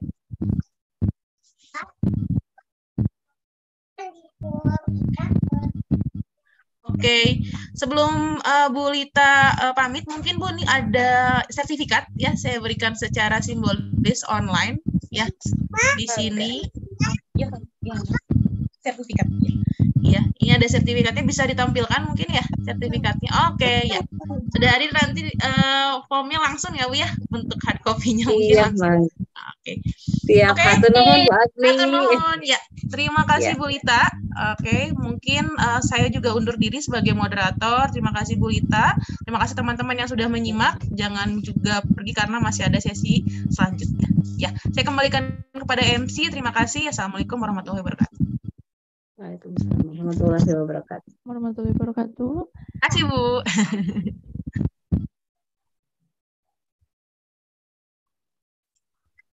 Baik, terima kasih kepada moderator Bu Agni dan kepada narasumber Ibu Lita yang telah menyampaikan materi yang sangat luar biasa ya. Eh, kita lanjut ke pemaparan materi selanjutnya. Tapi sebelumnya izinkan saya untuk membacakan CV moderator yang kedua. Boleh bantu share screen.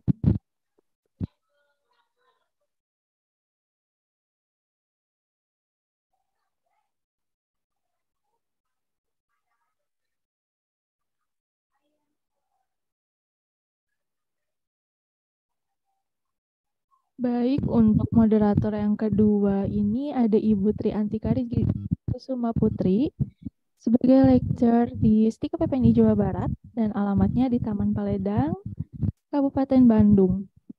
Terus di sini ada experience-nya sebagai dosen di STIKA PPNI Jawa Barat dari tahun 2016 sampai sekarang sebagai Head of Medical Surgical uh, Nursing Department, lalu Chief Editor of Comprehensive Nursing Journal.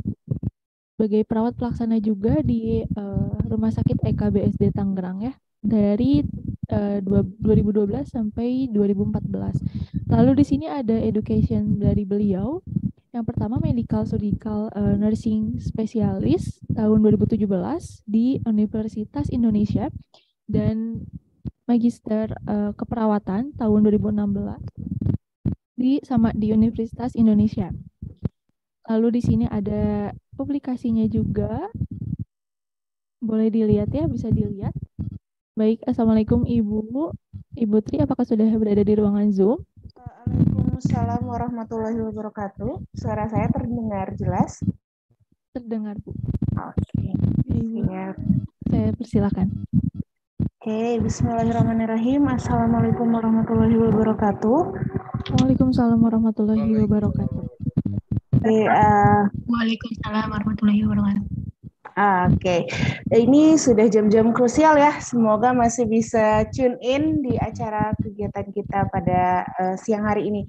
Sebelum kita masuk ke dalam materi untuk pembicara kita yang kedua, mungkin bisa dibantu untuk eh, di-share CV pembicara kita biar saya bacakan dulu CV beliau. Untuk pembicara kita yang kedua, ini ada expert ya di bidang neurologi atau di bidang keperawatan eh, saraf. Beliau adalah Ibu Diah Untari, eh, Magister Keperawatan Spesialis Keperawatan Medikal Bedah, yang kalau kita lihat di sini sebentar lagi beliau ulang tahun nih. Jadi nanti mungkin kita sama-sama memberikan selamat ulang tahun ya ke beliau ya, karena sebentar lagi nih. Eh, pendidikan beliau eh, dimulai dari D3 keperawatan di Depkes pada tahun 2001, dilanjutkan di UI untuk S1 keperawatan, begitu pula dengan magister dan spesialisnya. Eh, beliau adalah seorang kepala ruangan di unit stroke Rumah Sakit eh, RSPAD Angkatan Darat ya di Gatot Subroto, Jakarta dari tahun 2018 sampai dengan sekarang. Kalau kita lihat beliau juga aktif sebagai CI, aktif juga sebagai pengajar di eh, Akper RSPAD. Lalu beliau juga seorang anggota dari Komite Etik Penelitian di RSPAD Gatot Subroto. Eh, Ibu dia juga aktif nih sebagai pengurus di Himpunan Perawat Neurologi. Jadi untuk teman-teman semua, apabila ada yang ingin ditanyakan terkait keperawatan dalam keperawatan neurologi, enggak kita bisa sharing dan diskusi bersama-sama. Eh, Budi, Budi, Budi udah hadir di ruang Zoom? Ya, sudah, Neng. Asik. Ya, panggil jadi kesayangan remi. Etika ya. Kalau Ibu mohon maaf diganggu waktu liburnya. Eh, Nggak Mangga. apa-apa. Siap, Ibu Reuniannya aja akan online dulu ya. Reuninya Betul. online dulu. kita reuni online dulu nantilah eh, lanjutnya ketemu secara fisiknya nanti ya Bu. Iya. Oke, Eh, nanti Ibu akan menyampaikan materinya kurang lebih selama satu jam, lalu nanti kita lanjut dengan tanya jawab mungkin seperti itu ya Bu Dia. Untuk share screen mau dari Ibu atau? Saya aja. Oke, baik. Eh, untuk teman-teman sekalian, eh, boleh yang mau nanti mau ngajak Budiah berdiskusi nih, boleh mengirimkan pertanyaannya di kolom pertanyaan di kolom chat ataupun nanti acungkan tangan di raise hand ya. Mangga untuk Budiah silahkan waktu dan tempat saya persilahkan. Iya, yang mau ngajakin saya ikut penelitian juga saya mau deh. Sekalian main ke Jakarta ya. Siap, siap. Mangga Budi. Oke. Izinkan saya share screen. Assalamualaikum warahmatullahi wabarakatuh. Waalaikumsalam warahmatullahi wabarakatuh. Warahmatullahi wabarakatuh. Iya, terima kasih banyak. Sebelumnya saya ingin menyapa mahasiswa Bandung nih, karena saya dari seberang pulau, sedikit nyebrang. Oke, perkenalkan nama saya Dia. Uh, saya tinggalnya di Jakarta, kemudian saya juga bekerja di Jakarta, dan saya ketemu Tika itu tahun 2018. Ya, beliau orang yang cukup dedikasinya itu cukup baik, sangat baik malah bukannya cukup lagi. Dan saya bangga ya punya adik seperti Tika dan mudah-mudahan mahasiswa juga mengikuti jejak beliau ya. Oke, uh, kita akan berdiskusi tentang terapi komplementer untuk pasien dengan gangguan sistem neurologi karena uh, sekarang mahasiswa tuh dituntut untuk membuat tulisan ilmiah baik mahasiswa, baik juga karyawan, ya mereka semua dituntut untuk membuat suatu tulisan ilmiah. Kalau dulu tulisannya kita hanya sebagai sebatas asuhan keperawatan pada pasien stroke di ruang ini gitu ya. Tapi sejalan atau seiring berkembangnya zaman kita dituntut untuk bisa menuliskan suatu terapi implementasi yang sifatnya mandiri yang bisa kita lakukan pada pasien-pasien kita. Nah, sedikit saya akan mengupas ya, membangunkan teman-teman semua untuk menulis ya, barangkali ada yang tertarik nih, oh saya mau coba pada pasien saya di Bandung atau bagaimana, silakan. Oke, ini tadi sudah dijelaskan tentang CV saya. Ini adalah materi yang akan kita diskusikan hari ini. Semoga tidak mengantuk. Ya, yang pertama sebelum kalau dibilang gangguan uh, konsep neurologi untuk tindakan terapi komplement, berarti kan kita harus cerita dulu yang benernya dulu gitu ya. Yang benernya dulu tentang neurologi, kemudian gangguannya gitu ya, kemudian intervensi keperawatan uh, yang khususnya adalah intervensi keperawatan mandiri. Ya, yang salah satunya adalah terapi komplement.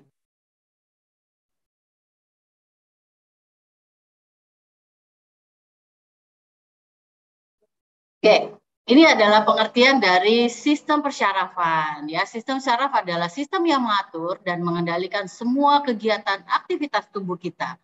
Seperti halnya berjalan, menggerakkan tangan, mengunyah makanan, ya sampai jantung kita bekerja, kita bisa bernafas, kita bisa bicara adalah fungsi dari sistem persyarafan kita. Ya, di mana sistem syaraf ini adalah suatu bagian yang sangat kecil dari tubuh kita ya bagian yang sangat kecil dari tubuh kita tapi dia mempunyai fungsi yang sangat luar biasa di mana kehidupan kita ditopang oleh otak kita itu ya. Dan kerja otak itu, kerja sistem saraf itu sifatnya bukan hitungan detik lagi, bukan juga hitungan menit, apalagi hitungan jam, melainkan hitungan sepersekian detik. Ya, contoh yang paling uh, real ya, contoh yang paling real pada saat kita kena sesuatu yang menyakitkan gitu ya seperti kena pisau ya atau kena panas gitu ya. Kita langsung refleks kita untuk uh, menggerakkan tangan kita uh, pada saat terkena uh, sesuatu itu. Nah itu terbukti bahwa diterima oleh uh, tubuh kita gitu ya diterima oleh tubuh kita kemudian diberikan sensasi ya sampai melalui tulang belakang kemudian diterjemahkan oleh otak dan timbullah respon kita tersebut. Artinya pada saat kita kena langsung kita gerak Nah, jadi kerjanya itu bukan lagi hitungan detik ya, melainkan sepersekian detik cara kerja di sistem syaraf kita. Nah, yang mempengaruhinya siapa? Yang pasti adalah mempengaruhinya adalah aktivitas-aktivitas listrik yang ada di tubuh kita atau yang biasa kita kenal dengan impuls saraf. Oke, ini adalah fungsi utama dari sistem saraf kita. Yang pertama adalah sebagai pengendali kerja, kemudian sebagai pusat pengendali tanggapan, dan juga sebagai alat komunikasi dengan dunia luar. Nah, ini mungkin kalau mahasiswa ingat ya susunan saraf kita itu ada dua ya, ada susunan saraf pusat dan juga ada susunan saraf tepi. Nah, susunan saraf pusat itu apa aja? Ya, tadi katanya bagian kecil yang ada di tubuh kita. Betul kecil ya, di mana susunan saraf pusat kita itu terdiri dari otak dan juga tulang belakang atau sumsum -sum tulang belakang ya di mana saraf itu tersimpan di dalam tulang belakang kita. Kecil nggak otak kita? Kecil ya. Nggak sampai 2 gram otak kita ya. Otak manusia itu tidak sampai 2 gram. Atau kalau uh, secara realnya ya itu adalah sebesar genggaman kalau bayi berarti sebesar genggaman bayi kalau dewasa berarti sebesar genggaman orang dewasa itulah otak kita tapi ingat bahwa fungsinya itu sangat luar biasa ya sampai kita bisa berbicara, kita bisa bernafas, kita bisa berpikir, gitu ya. Itu adalah fungsi dari otak dan juga tulang belakang kita. Nah, kemudian ada juga saraf tepi ya. Saraf tepi ini yang pasti adanya di saraf di tulang kranial, saraf di e, kranial atau di otak dan juga saraf yang ada di sumsum -sum tulang belakang. Di mana kalau kita belajar Pasti ingat ya, ada 12 pasang saraf kranialis ya. Itu adanya di dalam otak dan 31 pasang yang ada di ruas tulang belakang. Ya, kemudian secara fisiologi ya saraf itu dibagi menjadi otonom dan juga somatik. Oke, ini adalah fungsi sel saraf. Yang pertama adalah sebagai sel saraf sensorik, ya, kemudian sel saraf motorik, dan juga sebagai fungsi penghubung ya. Ini adalah fungsi dari otak kita. Nah, kalau lihat bagan seperti ini mungkin lebih mudah ya, lebih mudah untuk kita mengingat ya di mana sistem saraf manusia itu kita bagi menjadi dua ya, di mana ada susunan saraf pusat ya, kemudian ada otak dan juga sumsum -sum tulang belakang. Nah, otak dibagi lagi nih, ada otak besar ya, kemudian ada otak kecil ya, kemudian ada otak tengah dan juga medula oblongata. Nah, masing-masing otak ini mempunyai fungsinya masing-masing.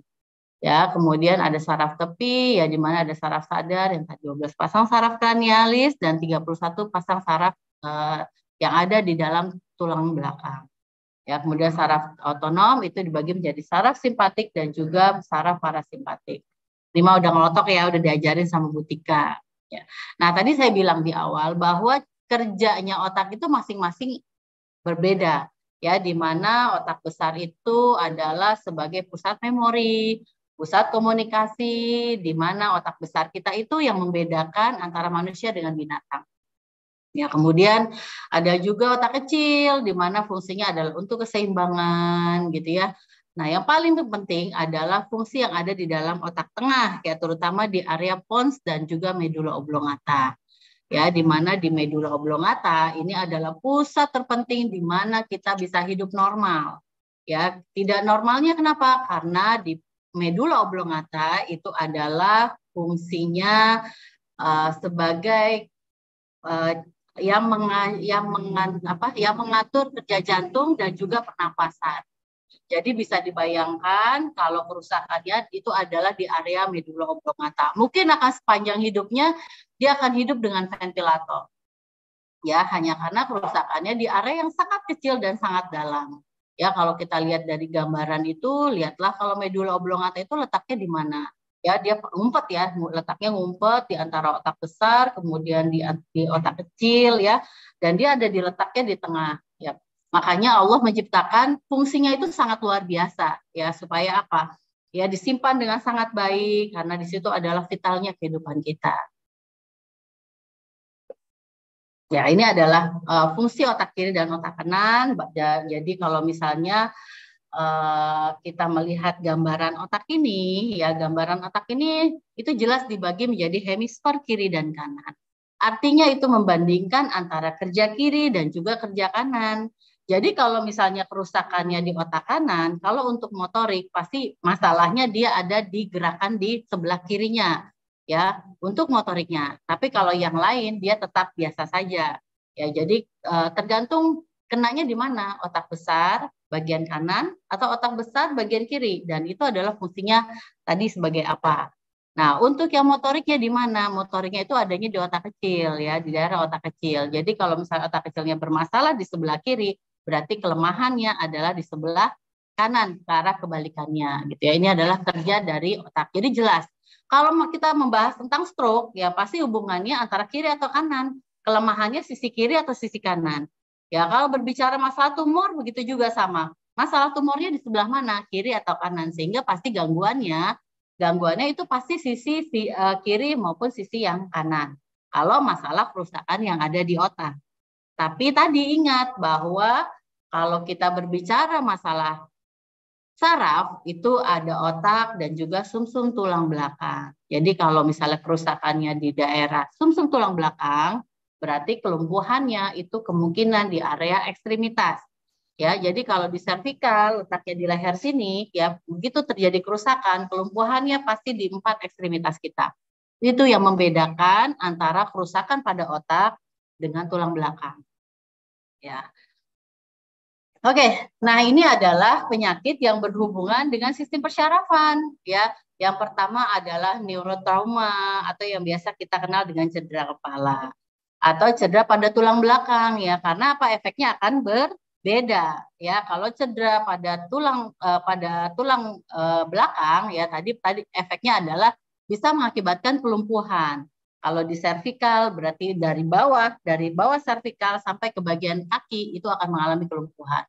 Kalau kenanya di area lumbal atau di pinggang berarti kelumpuhannya mulai dari pusat ke bawah. Ya, jadi jelas kalau misalnya terjadinya trauma di tulang belakang bisa mengakibatkan kelumpuhan pada area ekstrim, ekstremitasnya di dua sisi. Ya, kemudian ya kalau cedera kepala gimana? Cedera kepala tergantung tadi yang kenanya kerusakannya di mana ya. Kemudian ada neuroinfeksi. Nah, neuroinfeksi ini apa? Contohnya adalah meningitis ya atau encephalitis ya. Mening, meningen, mening itu adalah lapisan pembungkus otaknya. Encephal itu adalah otaknya. Itis itu adalah infeksinya. Jadi tinggal kita menambahkan meningitis, artinya infeksi di lapisan pembungkus otak.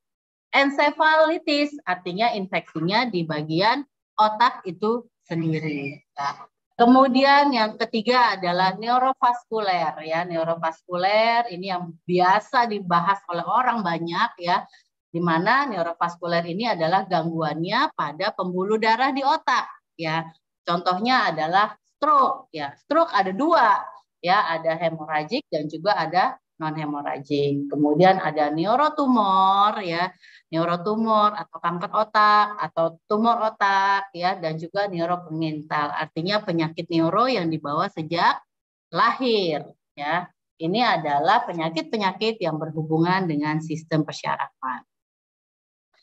Nah, ini adalah penjelasannya terkait penyakit, eh, lima penyakit yang berhubungan. Yang pertama adalah neurotumor, ya, neurotumor atau yang biasa kita kenal istilah medisnya dengan meningioma, glioma, ya. Intinya oma-oma gitu ya. Oma-oma itu bisa eh, bisa merupakan suatu keganasan pada sistem persyarafan, ya. Di mana ini adalah definisinya tumor otak merupakan kondisi yang ditandai dengan tumbuhnya sel abnormal di dalam atau di sekitar otak di mana sel abnormal tersebut tumbuh tidak wajar dan tidak terkendali. Akhirnya apa? Otak itu akan kalah. Ya, otak itu akan kalah diisi oleh masa tumor. Ya. Terus harus gimana? Kalau kita lihat gambaran di samping ya, kita lihat kita lihat dan kita bayangkan itu adalah masa tumor. Begitu kita angkat, kita tidak tahu kaki-kakinya itu sampai ke mana. Ya makanya kalau pada pasien dengan tumor pasti implementasinya ada tindakan lanjutannya. Ya bisa kemoterapi, bisa radiasi gitu ya. Nah, itu bisa mengakibatkan masalah yang sangat banyak ya, masalah-masalah keperawatan yang sangat banyak ya yang bisa kita temukan pada pasien tersebut. Ya, kemudian yang kedua nah ini ya Neurotumor itu bisa ada dua macam ya. Yang pertama adalah tumor otak, yang kedua adalah kanker otak. Di mana definisinya hampir mirip ya.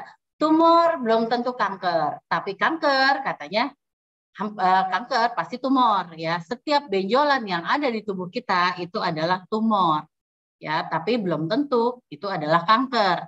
Ya, yang membedakannya apa? Yang membedakan kalau tumor itu sama-sama dia sel yang berkembang secara cepat, namun dia dibungkus oleh selaput. Sehingga begitu diangkat selaput itu, dia akan hilang semuanya. Ya, dia akan hilang sehingga tidak membutuhkan pengobatan lanjutan. Kalau kanker gimana? Kalau kanker kadang saya suka bilang sama mahasiswa saya, kalau cancer, kamu tahu nggak uh, dia itu zodiak cancer? Tahu bu apa? Kepiting, oke, okay. anggaplah kepiting itu adalah kanker, anggaplah kepiting itu adalah badan kankernya, kakinya itu adalah perluasannya. Jadi kalau kamu ambil badannya, kakinya bagaimana? Bisa diangkat kakinya? Nggak bisa, Bu. Nah, makanya kalau kanker pengobatannya ah, pastinya ada lanjutannya ya, bisa radiasi, bisa kemoterapi atau bi- bisa kombinasi di antara kedua. Ya, itu adalah mengobati kanker di mana kaki-kaki itu harus dimusnahkan. Penyebarannya itu harus kita musnahkan juga. Itulah yang membedakan antara tumor dengan kanker. Kemudian eh, yang kedua adalah neurovaskuler ya atau yang biasa kita kenal dengan stroke di mana ini adalah definisi tentang stroke dan harus digarisbawahi dia berlangsung lebih dari 24 jam. Kadang ada pasien datang ke UGD dengan keluhan, kelumpuhan pada salah satu sisi, mulutnya pelo gitu ya, wajahnya asimetris, tidak sama gitu. Begitu di treatment, diberikan infus, diberikan obat-obatan neurotropik gitu ya. Alhasil satu kali 24 jam dia kembali normal. Itu adalah TIA, trans ischemic attack. Apakah dia masuk ke dalam stroke? Tidak. Ya, tidak masuk ke dalam stroke. Setelah satu kali 24 jam dia sudah uh, sembuh, dia tidak masuk ke stroke. Jadi dianggap sebagai TIA atau trans ischemic. Kemudian kalau misalnya lebih dari satu kali 24 jam, artinya lebih dari dua hari, ya ternyata keluhannya masih sama. Pasiennya mengalami kelumpuhan, masih mengalami gangguan komunikasi, wajah tidak simetris, baru kita menyebut dia adalah stroke. Ya, jadi nah kita tahu bahwa stroke itu ada dua macam ya. Stroke itu ada dua macam. Ya, satu itu adalah stroke yang disebabkan karena adanya sumbatan ya. Ya, karena ada sumbatan yang ada di dalam pembuluh darah dan juga stroke yang disebabkan karena pecahnya pembuluh darah. Kalau karena sumbatan biasa kita kenal dengan istilah infak. Kalau pecah ya artinya darah keluar, ada perdarahan di sana, kita bilang dia adalah stroke hemoragik ya atau stroke perdarahan. Ya gampang ngapalinnya. Nah, ini ya. Kalau kita lihat dari gambaran CT scan ya, kalau kita lihat dari gambaran CT scan perdarahan itu sangat jelas di mana warnanya itu pasti akan berwarna lebih terang atau putih. Ya, lihat kenapa? Karena begitu pecah darah itu akan keluar ke dalam uh, keluar ke uh, area otaknya gitu ya. Dia akan menyebar sama seperti halnya air ya. Begitu air itu kita masukkan ke dalam balon, kemudian kita tusuk balonnya, dia akan menyebarkan air itu ya. Itu halnya sama dengan darah yang mengalir di dalam pembuluh darah. Kemudian yang kedua adalah struk penyumbatan atau struk iskemik ya di mana gambarannya pasti lebih gelap. Kenapa? Karena sudah terjadi kematian jaringan, oksigen tidak ada, sudah dapat dipastikan ruangan kosong, begitu difoto dia akan terlihat gelap.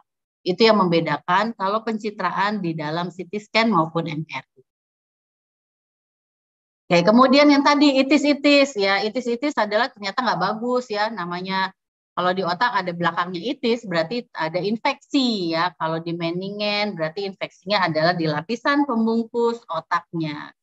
Ya, bisa kena ke lapisan dura mater, bisa kena juga di pia mater, bisa kena juga di arachnoid ya.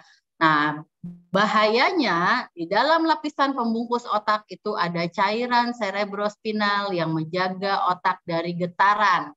Ya, sehingga kalau misalnya kita kena getar atau tabrakan gitu ya, pada saat kita kena tabrakan, otak kita bergetar karena ada cairan cerebrospinal, dia tetap pada tempatnya.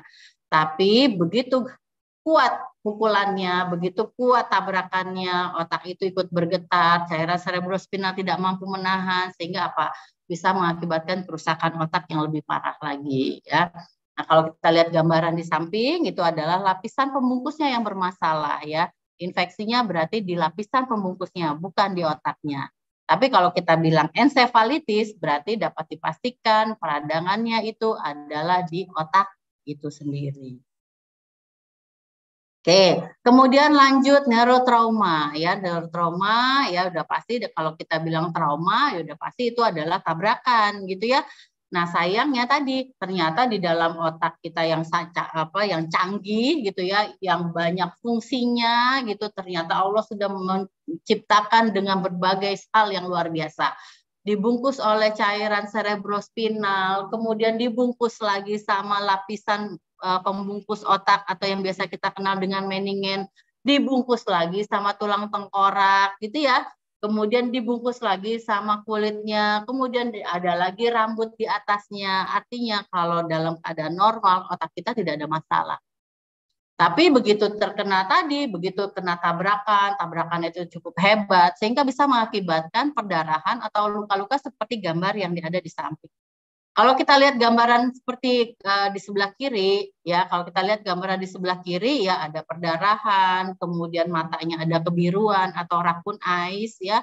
Kemudian juga keluar cairan atau darah di bawah hidung di dalam di apa rongga hidung ya. Itu dapat dipastikan uh, pasien itu mengalami cedera kepala yang sangat berat. Ya pasiennya itu kemungkinan GCS-nya adalah tiga ya dekat dengan kematian. Ya kalau kita melihat kondisi pasien seperti ini ya kenapa kalau kayak gini pasti dapat dipastikan tumbukannya atau tabrakannya itu sangat kuat banget ya sangat kuat sehingga bisa mengakibatkan kerusakan yang seperti ini Nah, yang terakhir adalah kelainan yang dibawa sejak lahir atau uh, neurokongenital. Contoh ya cerebral palsy. Mungkin kalau teman-teman atau adik-adik mahasiswa sering dinas di ruang bayi ya melihat ada anak yang kayak lumpuh layu gitu ya. Tangannya nggak bisa gerak, kakinya nggak bisa gerak, kepalanya juga sama. Nah, itu adalah salah satu uh, kelainan yang dibawa sejak dia lahir ya uh, ini biasanya dia pasti akan mengakibatkan masalah gitu ya, dapat mengakibatkan masalah gangguan motorik, gangguan koordinasi, di mana kita tahu bahwa itu adalah yang menciptakan itu ya bisa menjadi normal adalah otak kita. Nah otaknya tidak berkembang, jadi dapat dipastikan dia akan mengalami masalah ya nah ya dapat dipastikan dia akan mengalami masalah ya nah kita sebagai seorang perawat ya kita sebagai seorang perawat begitu kita tahu tentang otak, kemudian tulang belakang, kemudian kita tahu penyakit-penyakit tadi gitu ya, kita dapat menyimpulkan apa sih yang bisa kita lakukan pada pasien ini? Oh, yang pertama kita harus melakukan pengkajian keperawatan. Gitu ya, apa sih yang bisa kita kaji? Pasti ABCD, airway, breathing, circulation, disability, gitu ya. Kita lihat semuanya ya, adakah dia masalah? Kemudian kita lakukanlah pengkajian sistem persyarafan. Nah, kemudian setelah kita melakukan pengkajian, kita dapat menarik kesimpulan atau menarik garis merah ya di mana bahwa dari lima masalah tersebut ternyata masalah keperawatannya sama gitu ya. Apa aja masalahnya? Nah, yang pasti yang pertama adalah resiko perfusi cerebral tidak efektif. Ini saya merujuk pada eh, SDKI ya. Kemudian diagnosa kedua, ketiga, keempat, kelima itu adalah mengikuti. Tapi diagnosa utama itu adalah pasti resiko perfusi cerebral tidak efektif. Ya, itu sudah pasti. Nah, begitu ada tanda peningkatan tekanan intrakranial, begitu dia ada tanda muntah proyektil, nyeri kepala hebat, papil edema, ya kita bisa angkat diagnosa kedua dengan peningkatan maladaptif tekanan intrakranial. Itu adalah diagnosa pokok dari lima masalah yang tadi ya ada neurotrauma, neuroinfeksi, neurovaskuler gitu pasti deh. Coba deh kalau misalnya kalian kan sudah dinas uh, pada tingkat satu, tingkat dua untuk yang D3 perawatan, kemudian yang nurse ya setahun kalian melakukan praktek gitu. Betul nggak sih apa yang saya sampaikan gitu ya? Benar nggak sih kalau diagnosa prioritas utama pada pasien dengan masalah neurologi, pasti yang pertama adalah perfusi cerebral. Kemudian kalau sudah ada tadi tiga tanda tadi, muntah proyektil, papil edema, nyeri kepala hebat gitu ya, diagnosa keduanya adalah risiko peningkatan maladaptif tekanan intrakranial. Pasti itu, ya itu sudah pasti. Nah, selanjutnya diagnosa kedua, ketiga, keempat itu pasti kita akan mengikuti. Pasiennya mengalami kelumpuhan pada salah satu sisi, kita bisa angkat dia gangguan mobilisasi. Oh, pasiennya kenanya tadi di otak besar, di mana otak besar itu adalah fungsi komunikasi. Pasiennya afasia. Kita bisa angkat dia gangguan komunikasi verbal. Oh, pasiennya uh, dia mengalami kelumpuhan sehingga activity daily livingnya dia dibantu oleh keluarganya dan juga perawat yang ada. Kita bisa angkat dia sebagai gangguan uh, atau defisit perawatan diri ya. Jadi intinya diagnosa kedua, ketiga, keempat, kelima itu adalah mengikuti dari temuan apa yang kita dapatkan pada pengkajian keperawatan yang kita kita ambil ya. Tapi kalau kita tarik sebagai benang merah, diagnosa keperawatan itu pasti akan hampir mirip. Pasti akan hampir mirip ya. Di setiap kamu menemukan masalah dengan neurologi ya. Jadi uh, coba kalau tidak percaya gitu kumpulkanlah eh, masalah-masalah uh, medis ya terkait tentang uh, gangguan neurologi. Ya coba kamu buka apa diagnosa keperawatan utamanya. Pasti itu? Ya pasti perfusi cerebral, kemudian peningkatan tekanan intrakranial gitu. Itu pasti ya. Diagnosa ketiga keempat dan kelima itu tergantung dari apa yang kita temukan pada masing-masing pasien yang kita temukan di rumah sakit. Oke Nah, karena uh, fokus saya suruh terapi komplement, oke, okay, kita akan uh, berbicara tentang uh, terapi komplement itu dapatnya dari mana gitu ya. Setelah kita mendapatkan masalah perawatan, ya saya ambil ini sebagai masalah yang paling banyak kita temukan pada kasus-kasus gangguan neurologi. Ya, kemudian kita akan merencanakan suatu implementasi, di mana kita tahu bahwa implementasi perawatan itu ada yang sifatnya mandiri, ya. Kemudian juga ada yang sifatnya kolaborasi ya. Mandiri itu artinya apa? Mandiri artinya kita mengerjakan sendiri tanggung jawab tanggung gugat itu adalah punyanya kita sehingga kita dituntut untuk melakukannya secara sendiri ya.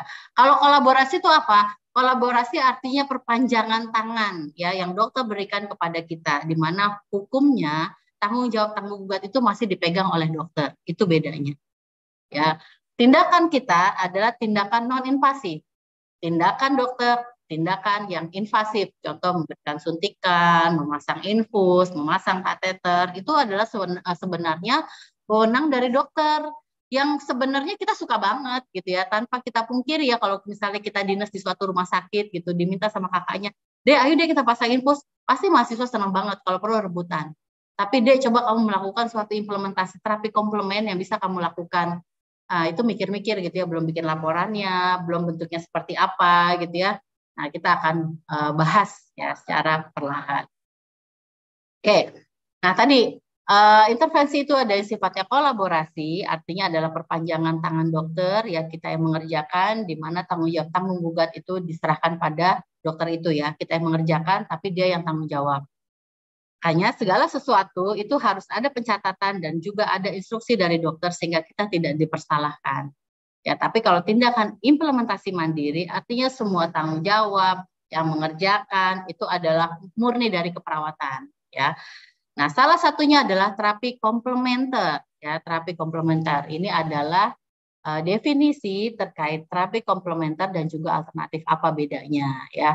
Kalau terapi komplement ini adalah modalitas pengobatan yang berasal dari luar praktek medis yang digunakan selain praktek medis tradisional. Ya.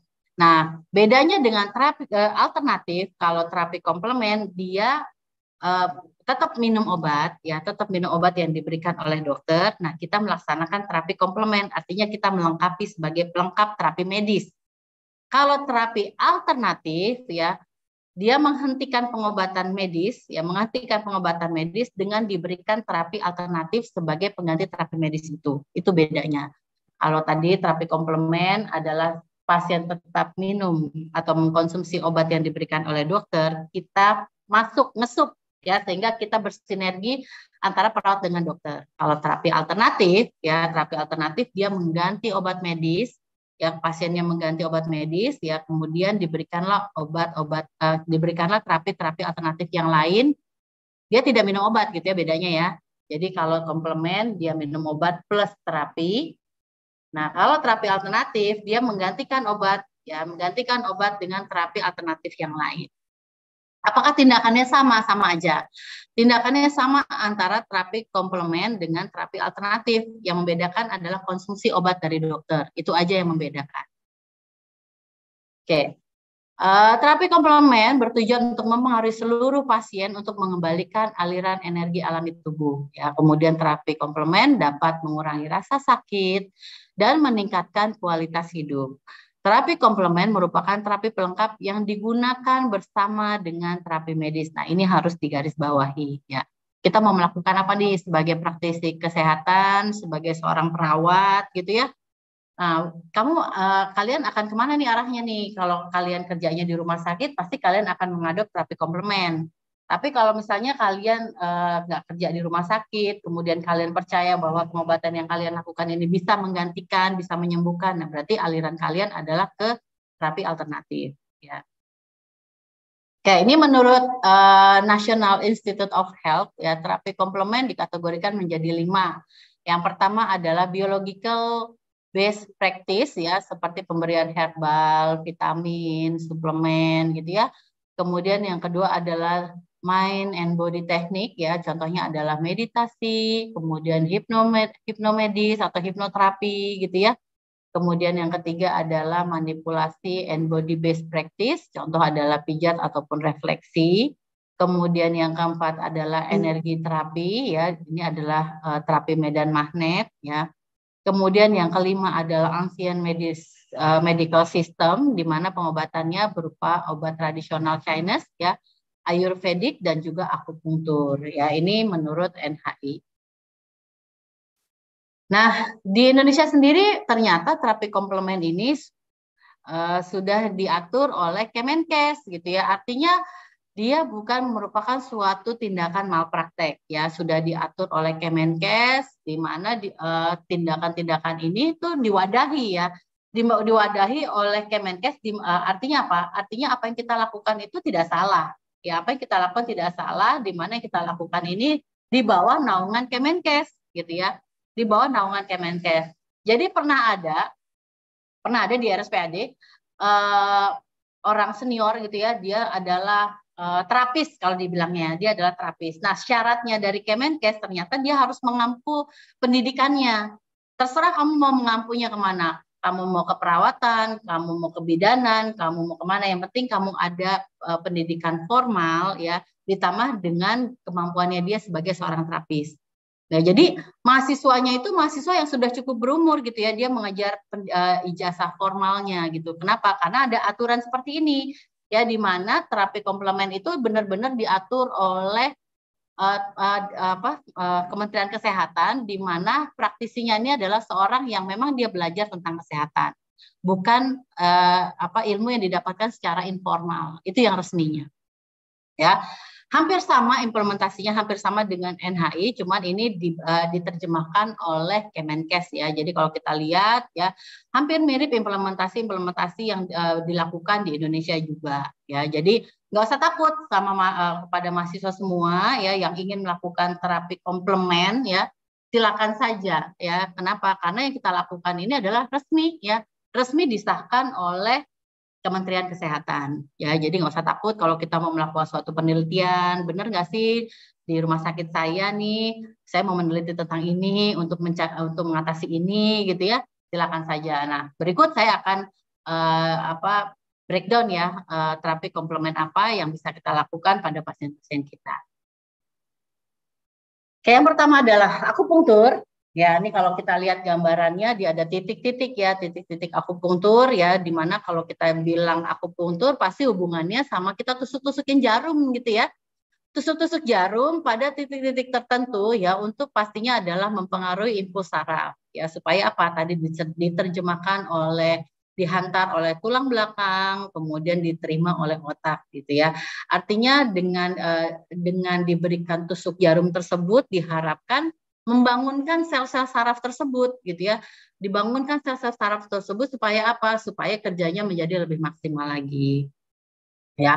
Dengan mengaktifasi titik spesifik praktisi akupunktur menghilangkan hambatan pada aliran energi kehidupan seseorang yang disebut dengan ki ya. Dan dipercaya bahwa ki tersebut dia ada di seluruh tubuh uh, di seluruh tubuh manusia gitu ya Nah, sirkulasi atau aliran ki yang baik ya dengan kita memberikan tusukan-tusukan ya diharapkan hambatan-hambatan di dalam tubuh itu tidak ada sehingga dapat dipastikan dia bisa meningkatkan kesehatan dan juga kebugaran tubuh. Ya, nah ini beberapa studi mengatakan bahwa akupunktur ini bisa mencegah migrain ya, kemudian sakit kepala akibat tensi yang tinggi gitu ya, kepala tegang, sakit leher jangka panjang, kemudian sakit selama menjalani kemoterapi atau setelah posoperasi gitu ya Kemudian sakit punggung bagian bawah juga bisa uh, bisa uh, dikurangi dengan tindakan akupunktur ya. Nah, jadi uh, apa tadi jelas bahwa ternyata titik-titik di tubuh kita gitu ya, di telapak tangan aja, di depan aja bisa mengobati berbagai macam masalah penyakit. Di belakangnya, di telapak juga sama. Di kepala, kemudian di badan dan semua tubuh kita itu dipastikan tadi ya di dalam tubuh bersirkulasi semua yang uh, bisa merangsang supaya sel-sel saraf itu menjadi bangun kembali sehingga dapat dipastikan tubuh menjadi lebih fresh. Nah, kemudian yang kedua adalah acupressure di mana ini sama aja ya. Yang bedanya adalah kalau akupunktur dia menggunakan jarum gitu ya, ditusuk dengan jarum yang kecil ya, jarum khusus untuk akupunktur. Kalau akupressure dia menggunakan uh, jari ya, jari di mana titik-titiknya hampir mirip. Titik-titiknya sama ya. Titik-titiknya sama ya, tujuannya sama juga ya. Tujuannya adalah kalau orang dia nggak mau ditusuk jarum karena nyeri, mungkin dia bisa mengambil alternatif lain dengan melakukan akupressure ya, dengan kita memberikan pijitan di titik-titik tertentu. Ya, ini contohnya ya uh, untuk sakit kepala, kemudian juga nyeri tenggorokan ya, ternyata juga bisa dengan uh, apa satu titik ya di telapak ini ya, di telapak ya kemudian ditekan sampai berulang kali selama 15 menit dan itu diulang berkali-kali bisa mengurangi penyakit ini. Oke, ini adalah jurnal penelitian ilmiah ya. Kalau kita lihat banyak ya penelitian-penelitian terkait eh, apa terkait implementasi akupunktur ya. Jadi banyak kalau misalnya kita cari itu eh, jurnal-jurnal yang mengatakan bahwa akupunktur itu aman bisa kita gunakan. Nah, ini silakan kalau misalnya adik-adik mahasiswa mau mengembangkan terapi akupunktur untuk apa gitu silakan kalian cari jurnalnya. Kemudian kalian uh, adopt habis gitu ya berapa sampelnya, kemudian pada kasus apa gitu ya. Dan ini bisa kalian kerjakan di rumah sakit yang kalian tuju. Ya, silakan. Oke, kemudian yang berikutnya adalah pemberian aromaterapi ya, di mana kita tahu ini adalah pemberian minyak esensial ya, di mana ini berasal dari eh, tumbuh-tumbuhan, kemudian dari bunga ya, bisa juga dihirup ya, bisa juga dihirup, bisa digosokkan ke tubuh gitu ya atau kita tambahkan di dalam air mandi ya. Nah, aromaterapi ini biasanya digunakan untuk relaksasi ya, tapi juga bisa mengurangi rasa sakit. Nah, ini yang paling mudah ya, terutama bisa kita berikan ini di instalasi gawat darurat ya, di mana pasien-pasiennya di pasiennya stres, keluarganya stres, masuk IGD gitu ya, diberikan terapi uh, terapi aromaterapi gitu ya dengan harapan apa sih kita tujuannya gitu benar nggak sih dengan kita berikan aromaterapi pasiennya menjadi tidak stres, tensinya menjadi turun gitu ya. Benar nggak gitu ya? Silakan kalian kembangkan. Ini adalah implementasi yang sangat mudah dilakukan.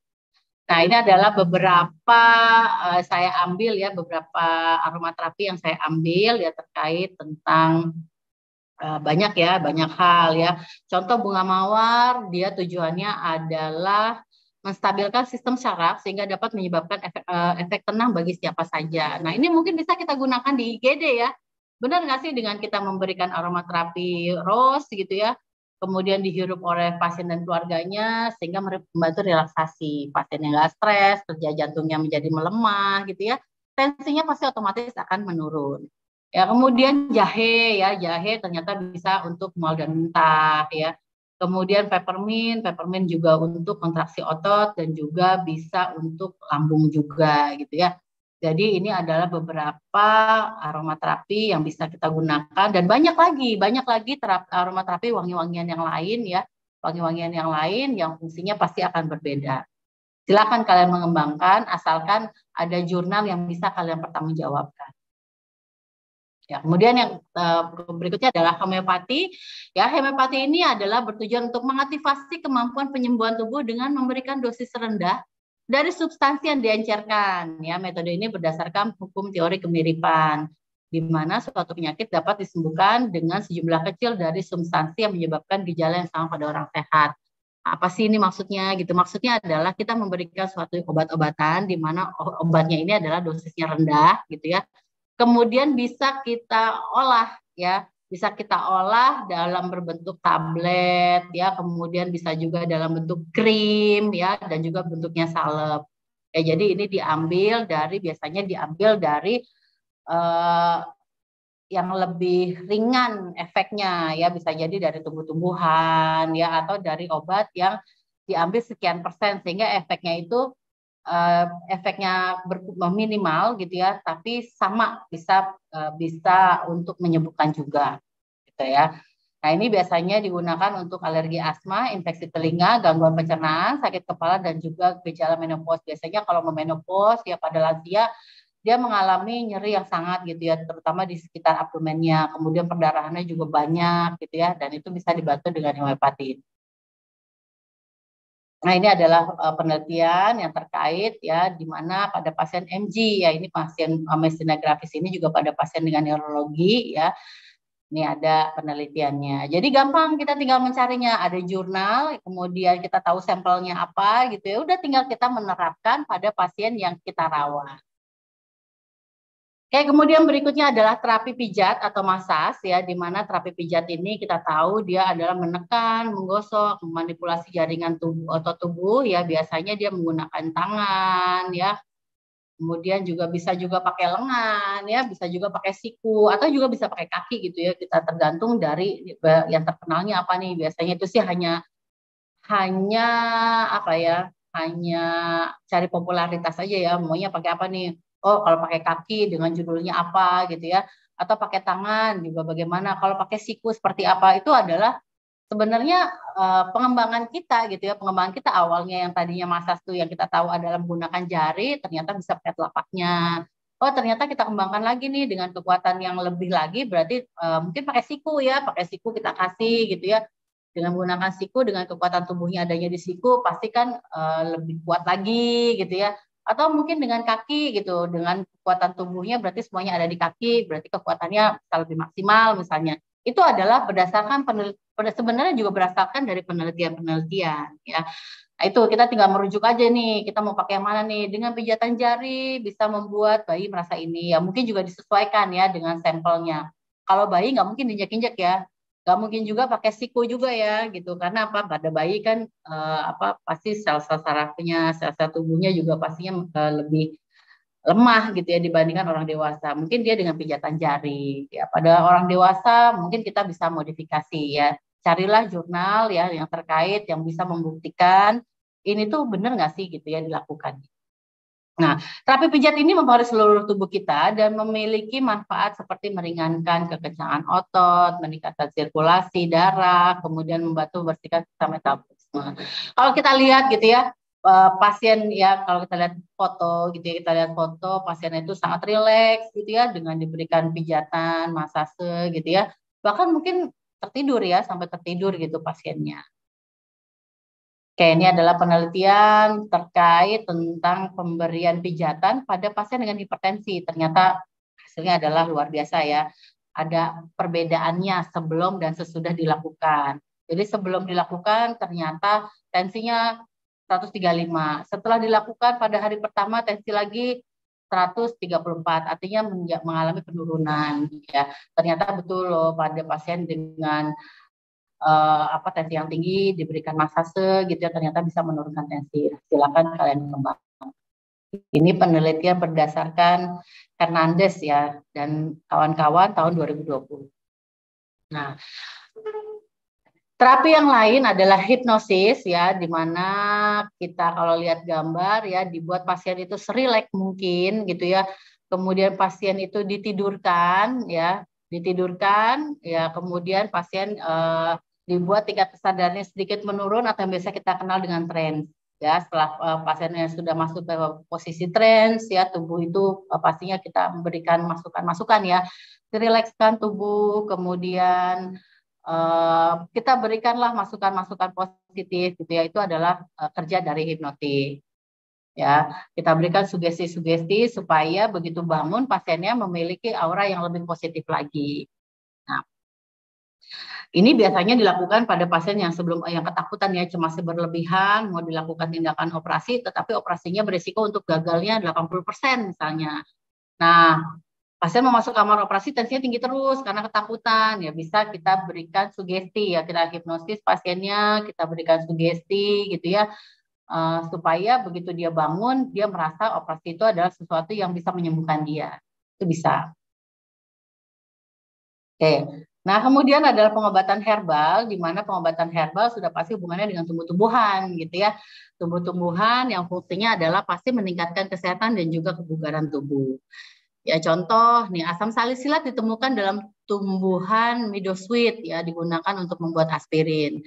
Jadi kalau kalau dari tumbuhan pastinya efeknya ke dalam tubuh kita minimal gitu ya buat obat herbal itu. Nah, aspirin dapat mengakibatkan perdarahan pada dinding lambung, tapi medoshid secara alami mengandung senyawa lain yang mencegah iritasi akibat asam salisilat, gitu ya. Ini salah satu obat herbal yang bisa kita dapatkan di tumbuh-tumbuhan, di mana cara kerjanya hampir mirip dengan aspirin. Nah, ini adalah beberapa obat herbal yang bisa kita gunakan. Benar nggak ya? Nanti silakan kalian cari ini. Ada echinacea, kemudian bawang merah, ada jahe, ya, kemudian ada ginseng, ada ginkgo biloba. Ya, ini adalah beberapa tanaman herbal yang diyakini bisa untuk mengatasi berbagai masalah kesehatan.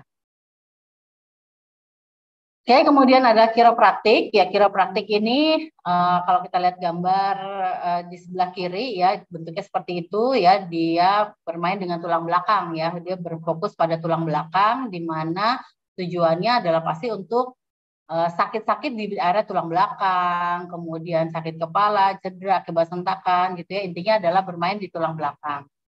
Ya, tujuannya adalah untuk mem mem memulihkan mobilisasi sendi secara manual ya artinya tidak dilakukan tindakan pembedahan, ya dilakukan dipercaya ya dipercaya sama pasiennya ya kemudian dilakukan secara manual dengan menggunakan tangan ya tidak menggunakan mesin operasi. Nah, Pilates.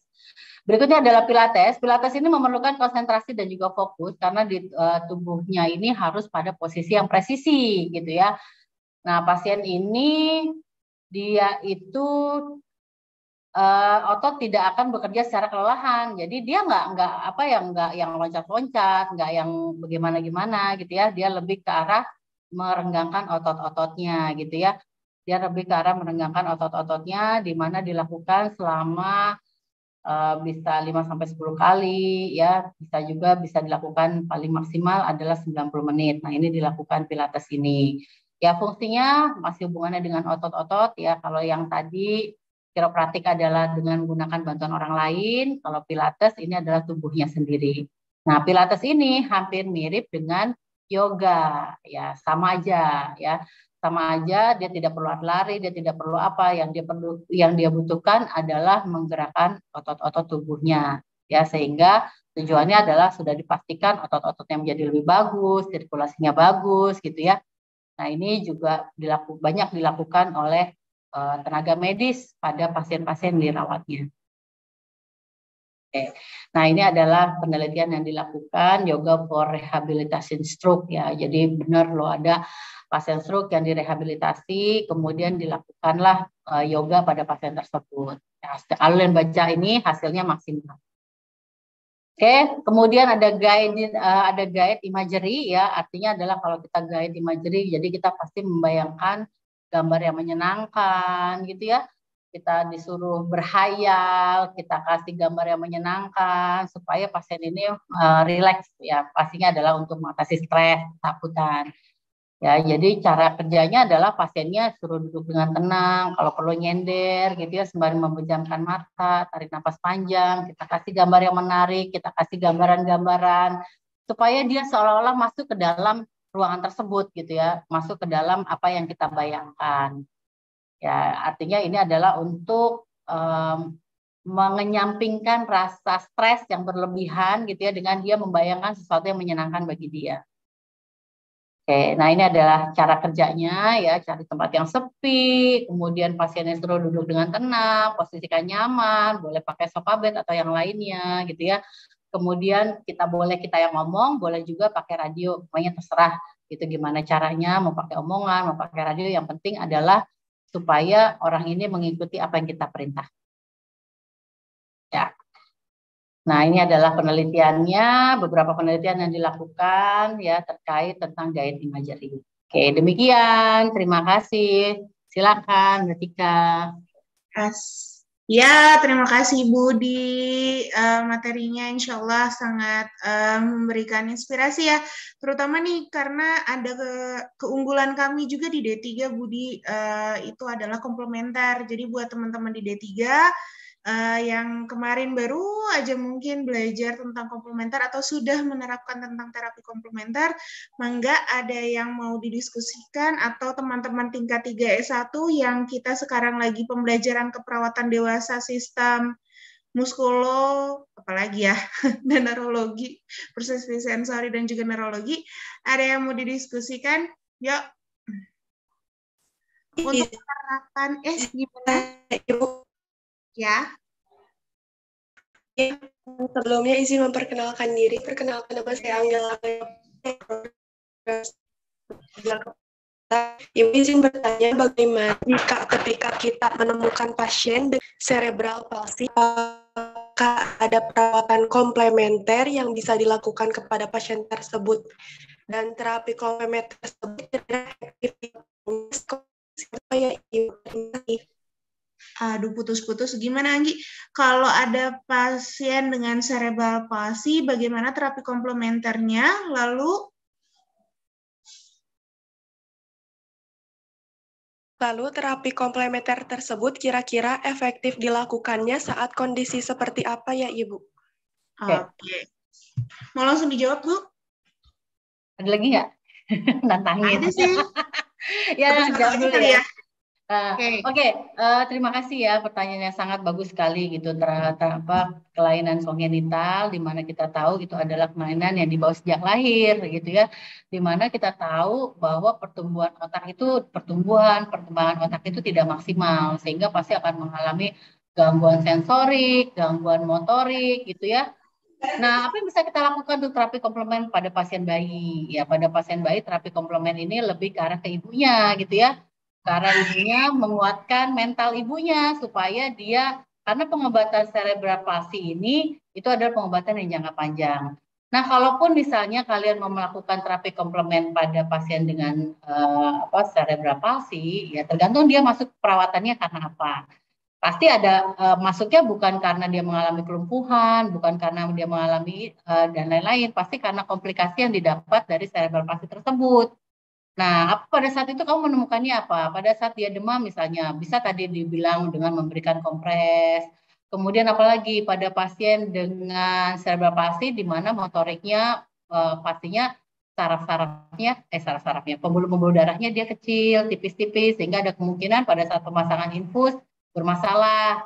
Nah, itu bisa dilakukan dengan tindakan apa eh, terapi komplementnya. Jadi, uh, kalau untuk treatment pada neurologisnya itu tidak mungkin bisa. Ya medis pun tidak akan bisa melakukannya. Kenapa? Karena berkembangnya itu tidak normal sejak dia lahir. Gitu. jadi tidak ada implementasi khusus terkait cerebral palsy. Itu ya. Oke, Anggi ada lagi yang mau didiskusikan atau dirasa cukup jelas?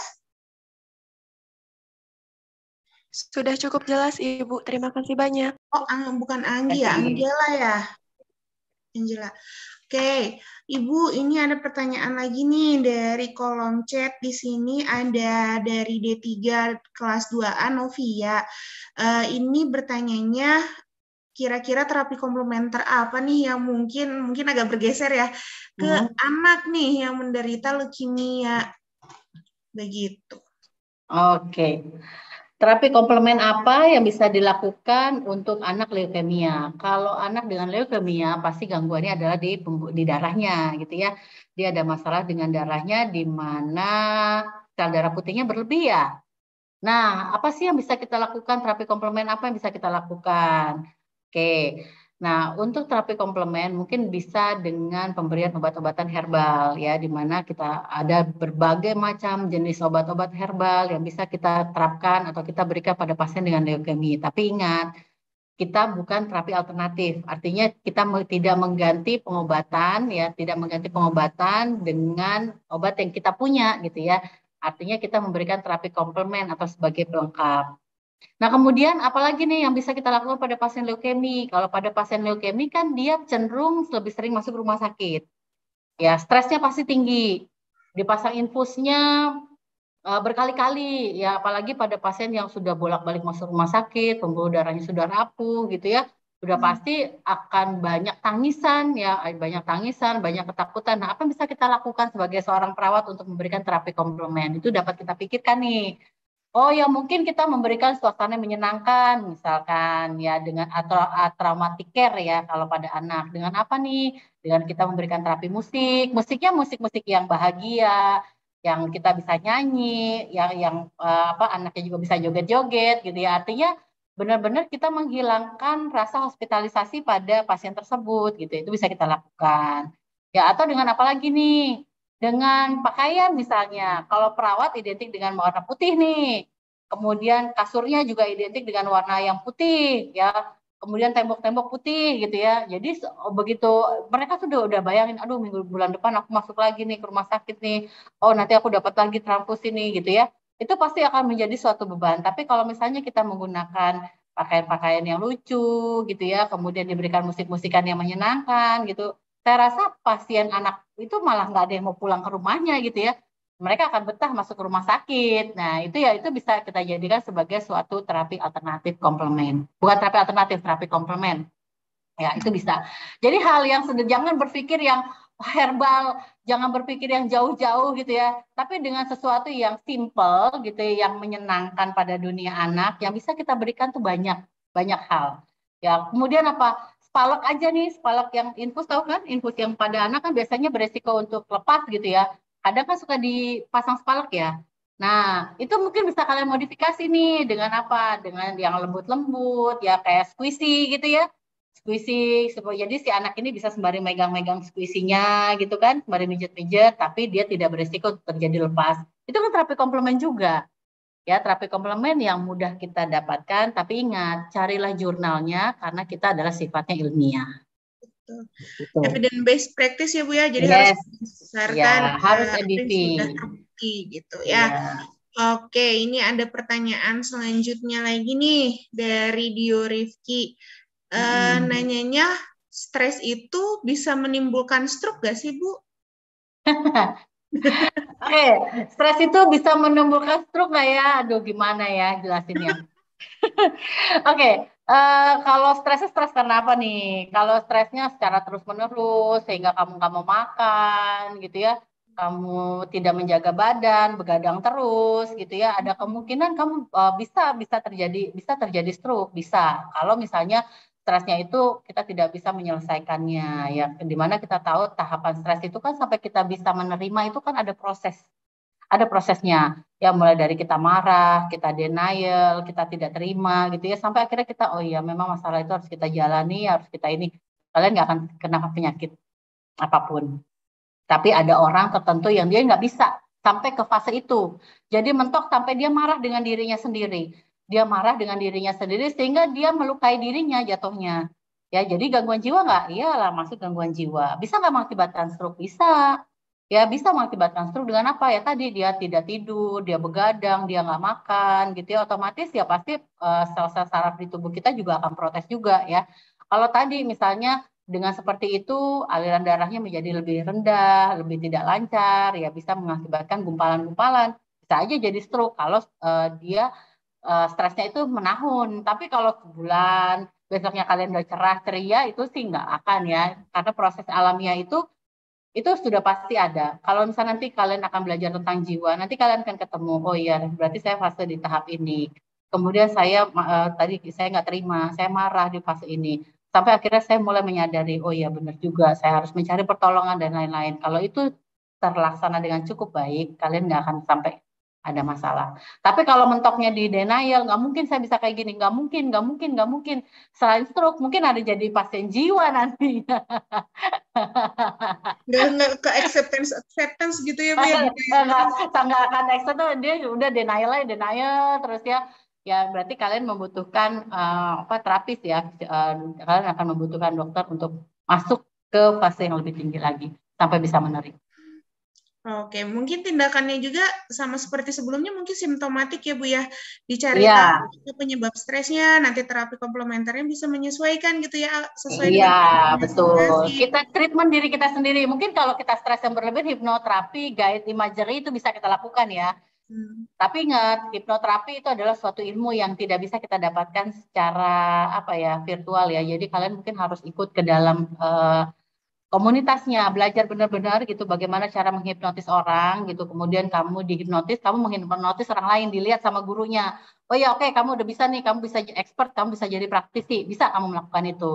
Jadi kalau kita mau uh, terapi komplement ini baiknya kalian ikut ngesup ke tadi saya bilang ya, jadi banyak sekarang terapis-terapis dia mau diperpanjang surat izinnya, ternyata dia diminta untuk pendidikan formal dulu. Jadi banyak sekarang mahasiswa-mahasiswa keperawatan yang usianya udah tua gitu. Kenapa? Karena dia mengejar ijazah tersebut. Gitu. Dan kita juga gitu, kita udah punya ijazah D3 keperawatan, kita udah punya satu keperawatan, berarti tinggal kita belajar ke uh, apa ke perkumpulannya, ke perhimpunannya untuk uh, uh, supaya apa kita diakui ya, diakui untuk terapi komplement. Oke. Okay. Oke. Dari Novi atau Dio, ada yang mau didiskusikan atau sudah cukup clear? Kita lanjut ke pertanyaan selanjutnya. Gimana Dio? Uh, sudah baik, Ibu. terima kasih sudah cukup. Oke. Okay. Sama-sama. Kita ini ada dari Rob ini Bu. Eh iya. gimana? Baik Ibu, terima kasih atas jawabannya. Oh, oh iya, sama-sama. Nah, ya, Ibu. Oke Bu, ini ada dari Ropi nih. Uh, hmm. Kata Ropi kalau Aduh orang Sunda banget ya, vertigo. Sundanis nih. Vertigo.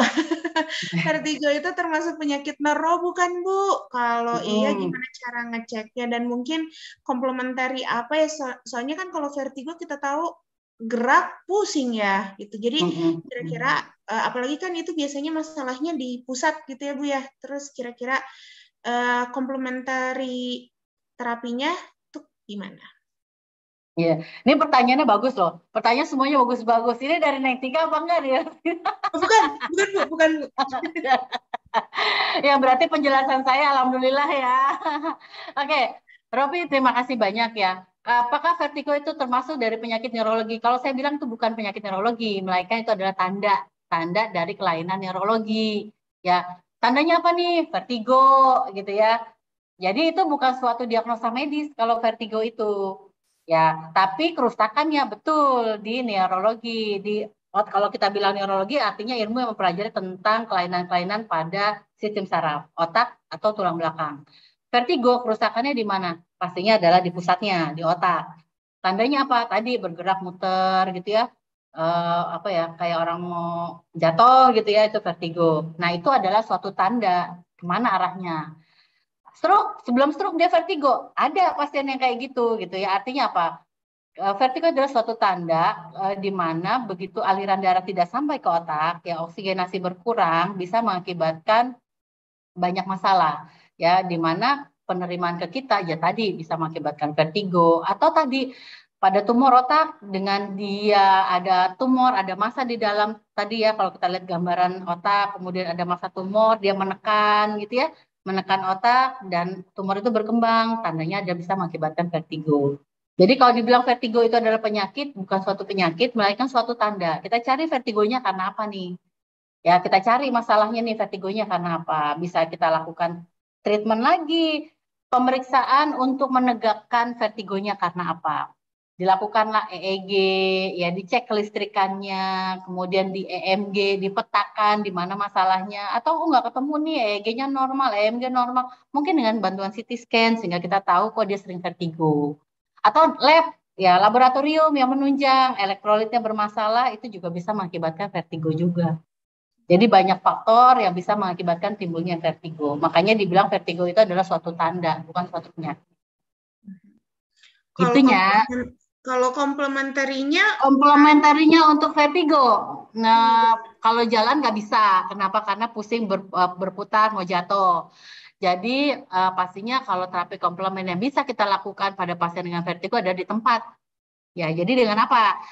Dengan hipnoterapi, dengan guide imagery gitu ya dengan aromaterapi itu bisa kita apa berikan ya dengan harapan apa aliran darah menjadi lancar sehingga keluhan vertigo nggak ada.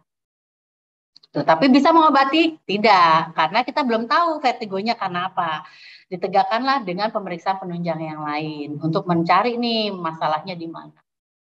Itu makanya kenapa saya bilang saya lebih suka mengatakan komplement bukan terapi alternatif. Karena kalau terapi alternatif kok lebih ke arah ini ya nggak percaya dengan terapi medis kita memberikan pengobatan gitu ya. Tapi kalau terapi komplement kan kita mengakui ada pengobatan dokter ditambah dengan terapi kita gitu ya. Terapi komplement yang kita punya diharapkan pasiennya menjadi lebih sehat lagi. Gitu. Lanjut neng. Udah ya, ya? lanjut. Gimana? Setuju? Gimana Ropi? Aman? Baik, terima kasih Bu. Katanya sangat membantu jawabannya. Sama-sama. Jadi, saya akan maju dulu ya, karena Isni ini lebih ke anak, saya akan maju dulu ke pertanyaan dari Cinta, Bu. Di sini, apakah ada terapi komplementer yang efektif pada pasien dengan SOL atau kanker otak? Ya, terapi komplement pada pasien dengan kanker otak, terapi komplement. Jadi kalau gini, kalau misal tadi kan saya bilang, apa bedanya tumor dengan kanker? Kalau tumor sudah pasti uh, kanker, kanker belum tentu tumor gitu ya. Nah, yang membedakan adalah kalau tumor dibungkus oleh selaput, sehingga begitu diangkat selaputnya, tumornya hilang. Tapi kanker, begitu diangkat badannya, penyebarannya kita nggak tahu sampai sejauh mana. Nah, apakah terapi komplement bisa menyembuhkan? Jawabannya adalah tidak. Ya, kenapa? Karena pengobatannya pastinya dengan kemoterapi dan radiasi. Kemoterapi dan radiasi bisa mengakibatkan efek yang sangat banyak. Salah satunya rambutnya botak, rontok, alisnya ikut rontok, gitu ya. Kemudian mual muntah yang sangat hebat karena efek dari kemoterapi dan radiasi. Kemudian kuku-kuku menjadi menghitam. Artinya apa? Di situ banyak sel-sel yang uh, rusak, kemudian dia akan regenerasi. Nah, di mana sih terapi komplement yang bisa kita lakukan? Di sinilah ya, di sinilah kita melakukannya. Kalau tadi mual muntah berarti kita bisa tadi dengan aroma jahe-jahe diharapkan uh, apa tidak meningkatkan rasa mual gitu ya. Kemudian apalagi dengan rambut tadi, oh kalau rambutnya botak berarti mungkin bisa dengan uh, tanaman herbal ya yang kita tahu di mana minyak kemiri bisa untuk menyuburkan rambut. Kemudian lidah buaya juga bisa untuk menyuburkan rambut. Jadi itu ya, tapi tidak menyembuhkan si kankernya, tidak menyembuhkan. Ya, yakin tidak menyembuhkan. Obat medis juga tidak bisa menyembuhkan. Jadi dia harus ada treatment lagi. Maksudnya bukan obat medis, obat minum gitu ya, bukan ya, tapi obat kemoterapi, obat kemoterapi, radiasi, uh, obat kemoterapi bisa obat minum, obat infus gitu. Itulah yang bisa menyembuhkan kanker tersebut. Jadi nggak ada obat yang bisa menyembuhkan kanker, ya nggak ada obat melainkan kemoterapi dan radiasi. Itu aja pengobatannya. Oke, kalau pelaksananya sendiri, apakah bisa bersamaan dengan terapi medis? Tentu bisa ya Bu ya, karena Tentu ini bisa. ada dari. Iya, bisa. Aromaterapi kan kita cuma menghirup, menghirup baunya. Di kemudian terapi musik kita berikan eh, musik-musik yang kalau tadi anak-anak mungkin yang uh, bikin pengen joget gitu ya. Kalau pada ya pasien-pasien dengan kemoterapi itu kan dia butuh relaksasi yang benar-benar rileks gitu ya. Ruangannya harus lebih bagus, bukan lebih bagus ya lebih adem, lebih Tenang, gitu ya. nyaman, lebih tenang. Kemudian musiknya juga mungkin terserah ya, mau musiknya mau rotal silakan, mau terapi musik yang lain juga silakan. Jadi kita tanyakan nih pasiennya lebih rileksnya diberikan musik yang mana. Banyak rumah sakit rumah sakit sekarang yang sudah mengembangkan dia punya mikrofon gitu ya, suka manggil kalau kita di ICU kan dari keluarganya ini silakan datang ke sini gitu ya. Sering kan kalau misalnya ada di ICU ICU kita manggil keluarga pasien pakai mikrofon. Nah, itu pasti difasilitasin sama tape sebenarnya. Jadi bisa loh kita Bu, Bu boleh nggak Bu ini saya punya musik ini gitu. Saya mau coba nih Bu di kamar ini gitu. Bener nggak sih pada pasien-pasien kita lihat aja kalau pasien yang nggak sadar dengan tensi misalnya. Kita kasih musik, eh, sebelum kita kasih musik kita kasih nih tensinya, tensinya berapa, nadinya berapa gitu ya. Kemudian dengan kita memberikan terapi musik, bener nggak sih tensinya turun gitu. Nah itu juga bisa menjadi suatu apa ya suatu uh, ukuran ya bisa melihat keberhasilan dari terapi yang kita berikan. Simple, sederhana. Siap. RSPAD juga sudah dari dulu ya Bu ya? Udah. Ketika 2018 sudah ada kan? Ya, sudah ada 2016 Bu. Hmm, oh, 2016, 2016 ya? saya ke Udah udah. aromaterapi udah ada kan ya? Banyak banget. Uh, Apalagi lagi lemongrass tuh biar nggak mual ya Bu ya. Datang ke Iya. ruangan sudah ser gitu wangi. Oke, yuk Cinta sama Safila ada lagi yang mau didiskusikan? Mungkin sudah cukup, Ibu. Oke, baik. Terima Saya kasih jawabannya, Ibu. Sama-sama, terima kasih juga. Saya lanjut ke pertanyaan terakhir nih, sepertinya dari Cintia. Eh, Ibu untuk pasien yang amnesia dan terdapat perubahan perilaku, misalkan dia jadi agresif, kelainan frontal mungkin apa ini maksudnya, untuk mengatasi hal tersebut, apakah perlu dilakukan dulu terapi alternatif atau komplementer mungkin ya di sini ya, atau bagaimana ya Bu? Terima kasih. Ya, uh, amnesia terdapat bisa mengakibatkan perubahan perilaku ya tadi ya Berarti kerusakannya adalah di otak besar, di mana otak besar itu adalah pusatnya memori, pusatnya komunikasi gitu ya, membedakan manusia dengan hewan tadi ya. Itu harus digaris bawahi. Berarti kerusakannya di sana. Nah, kemudian eh, tindakannya apa? Nah, amnesianya karena apa nih? Karena trauma, kecelakaan, karena tumor yang ada di otak sehingga mengakibatkan dia lupa, atau karena stroke ya sehingga memorinya hilang. Nah, kalau misalnya kita tahu treatmentnya apa, kalau untuk medisnya pasti adalah mengobati yang tadi.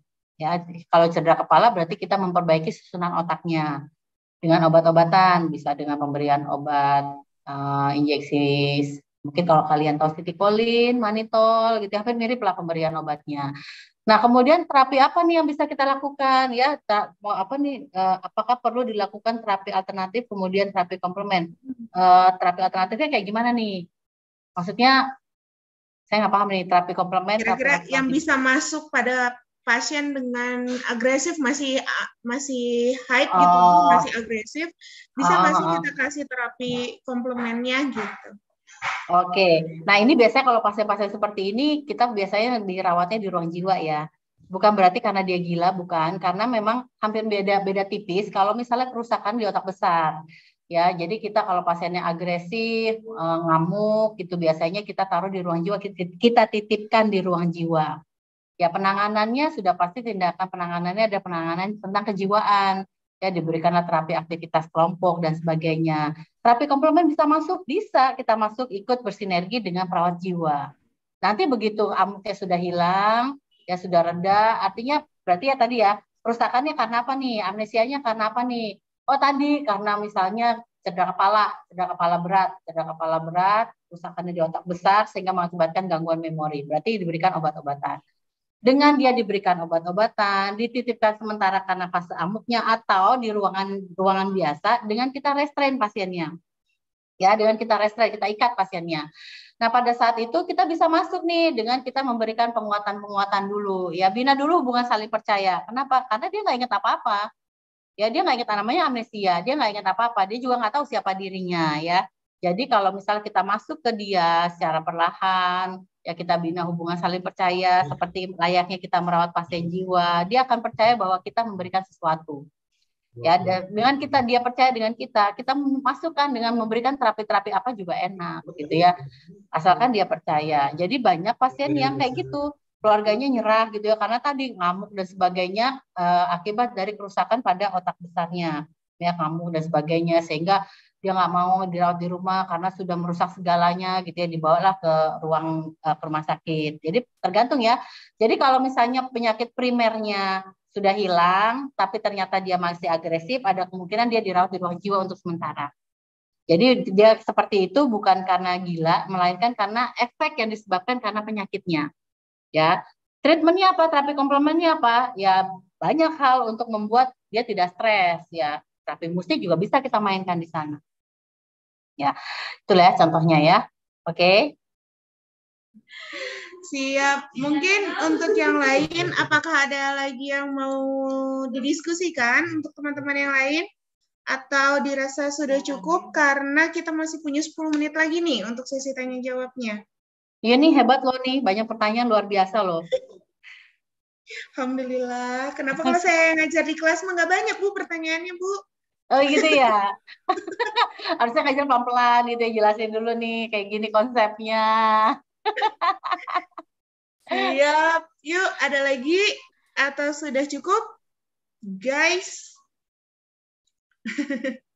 Oke, mungkin dirasa sudah cukup ya, Bu Diah. Terima kasih banyak untuk teman-teman semua. Tolong diingat bahwa memang terapi komplementer, khususnya di perawatan eh, keperawatan neurologi gitu ya, itu bukan sesuatu yang sifatnya obat gitu ya, Bu ya. Tidak Ya. menyembuhkan, tapi ini adalah pelengkap pendamping di mana bisa berjalan bersamaan. Terapi medikal tetap berjalan, terapi komplementer eh, pun tetap berjalan. Dan memang biasanya kita lakukan berdasarkan simptomatif gitu ya Bu ya. Jadi Iya, berdasarkan betul. simptom yang muncul pada eh, pasien seperti itu. Iya. Mungkin eh, untuk akhir terima kasih banyak Bu Diah sudah meluangkan waktunya. Terima kasih. Sama-sama, terima kasih. Makasih juga ya Stikes PPNI sudah mengundang saya ke Bandung Bu. secara virtual. Oh, Stikep ya? Stikep. Iya, iya, iya. perawatan. Stikep. Ya. Oke, Semoga makin sukses ya semua eh, mahasiswanya terima juga. kasih banyak. Untuk terakhir mungkin eh, bantu di-share untuk sertifikatnya biar Terima kita kasih. foto-foto foto cantik dulu. Oke. Oh iya iya iya iya. Bu, ini dia eh, sertifikat dari kami. Eh, terima kasih banyak untuk Bu Diah sudah berkenan untuk ikut serta dalam kegiatan general lecture atau kuliah umum kami. Semoga materinya bermanfaat. Eh, kita foto Amin. dulu. amin. Eh, aba-aba dari saya ya, biar sayanya agak cantik. Oke, Bismillah. Satu, dua, tiga. Oke, lagi satu, dua, tiga. Siap, Ibu. Terima kasih banyak. Sama-sama, terima kasih buat semuanya. Terima kasih Nentika, sukses selalu ya. Ya, Terima sama-sama Ibu. banyak. Sampai ketemu nanti di sana. Ya, mohon maaf apabila ada kata-kata yang tidak berkenan, saya ucapkan terima kasih. Saya pamit ya. Ya, baik. Terima kasih banyak Bu Diah. Sekali lagi, eh, lalu sekarang eh, di akhir sesi saya, saya ucapkan permohonan maaf untuk salah-salah katanya. Saya kembalikan kepada MC kita. Terima kasih banyak. Assalamualaikum. Saya boleh izin pamit ya. Eh, Mangga Budi. Mangga Budi. Ya. Terima kasih banyak semuanya. Assalamualaikum warahmatullahi wabarakatuh. Waalaikumsalam warahmatullahi wabarakatuh. Terima kasih kepada narasumber kedua dan eh, moderator Ibu Tri ya. Ini baik untuk eh, selanjutnya ada sekarang Isoma dulu ya. Isoma nah dari sekarang sampai jam 13.00 nanti join lagi atau stay di depan eh, laptopnya itu dari jam 12 lebih 50 ya. Boleh silakan eh, off cam saja. Terima kasih. Nanti dilanjut lagi ya.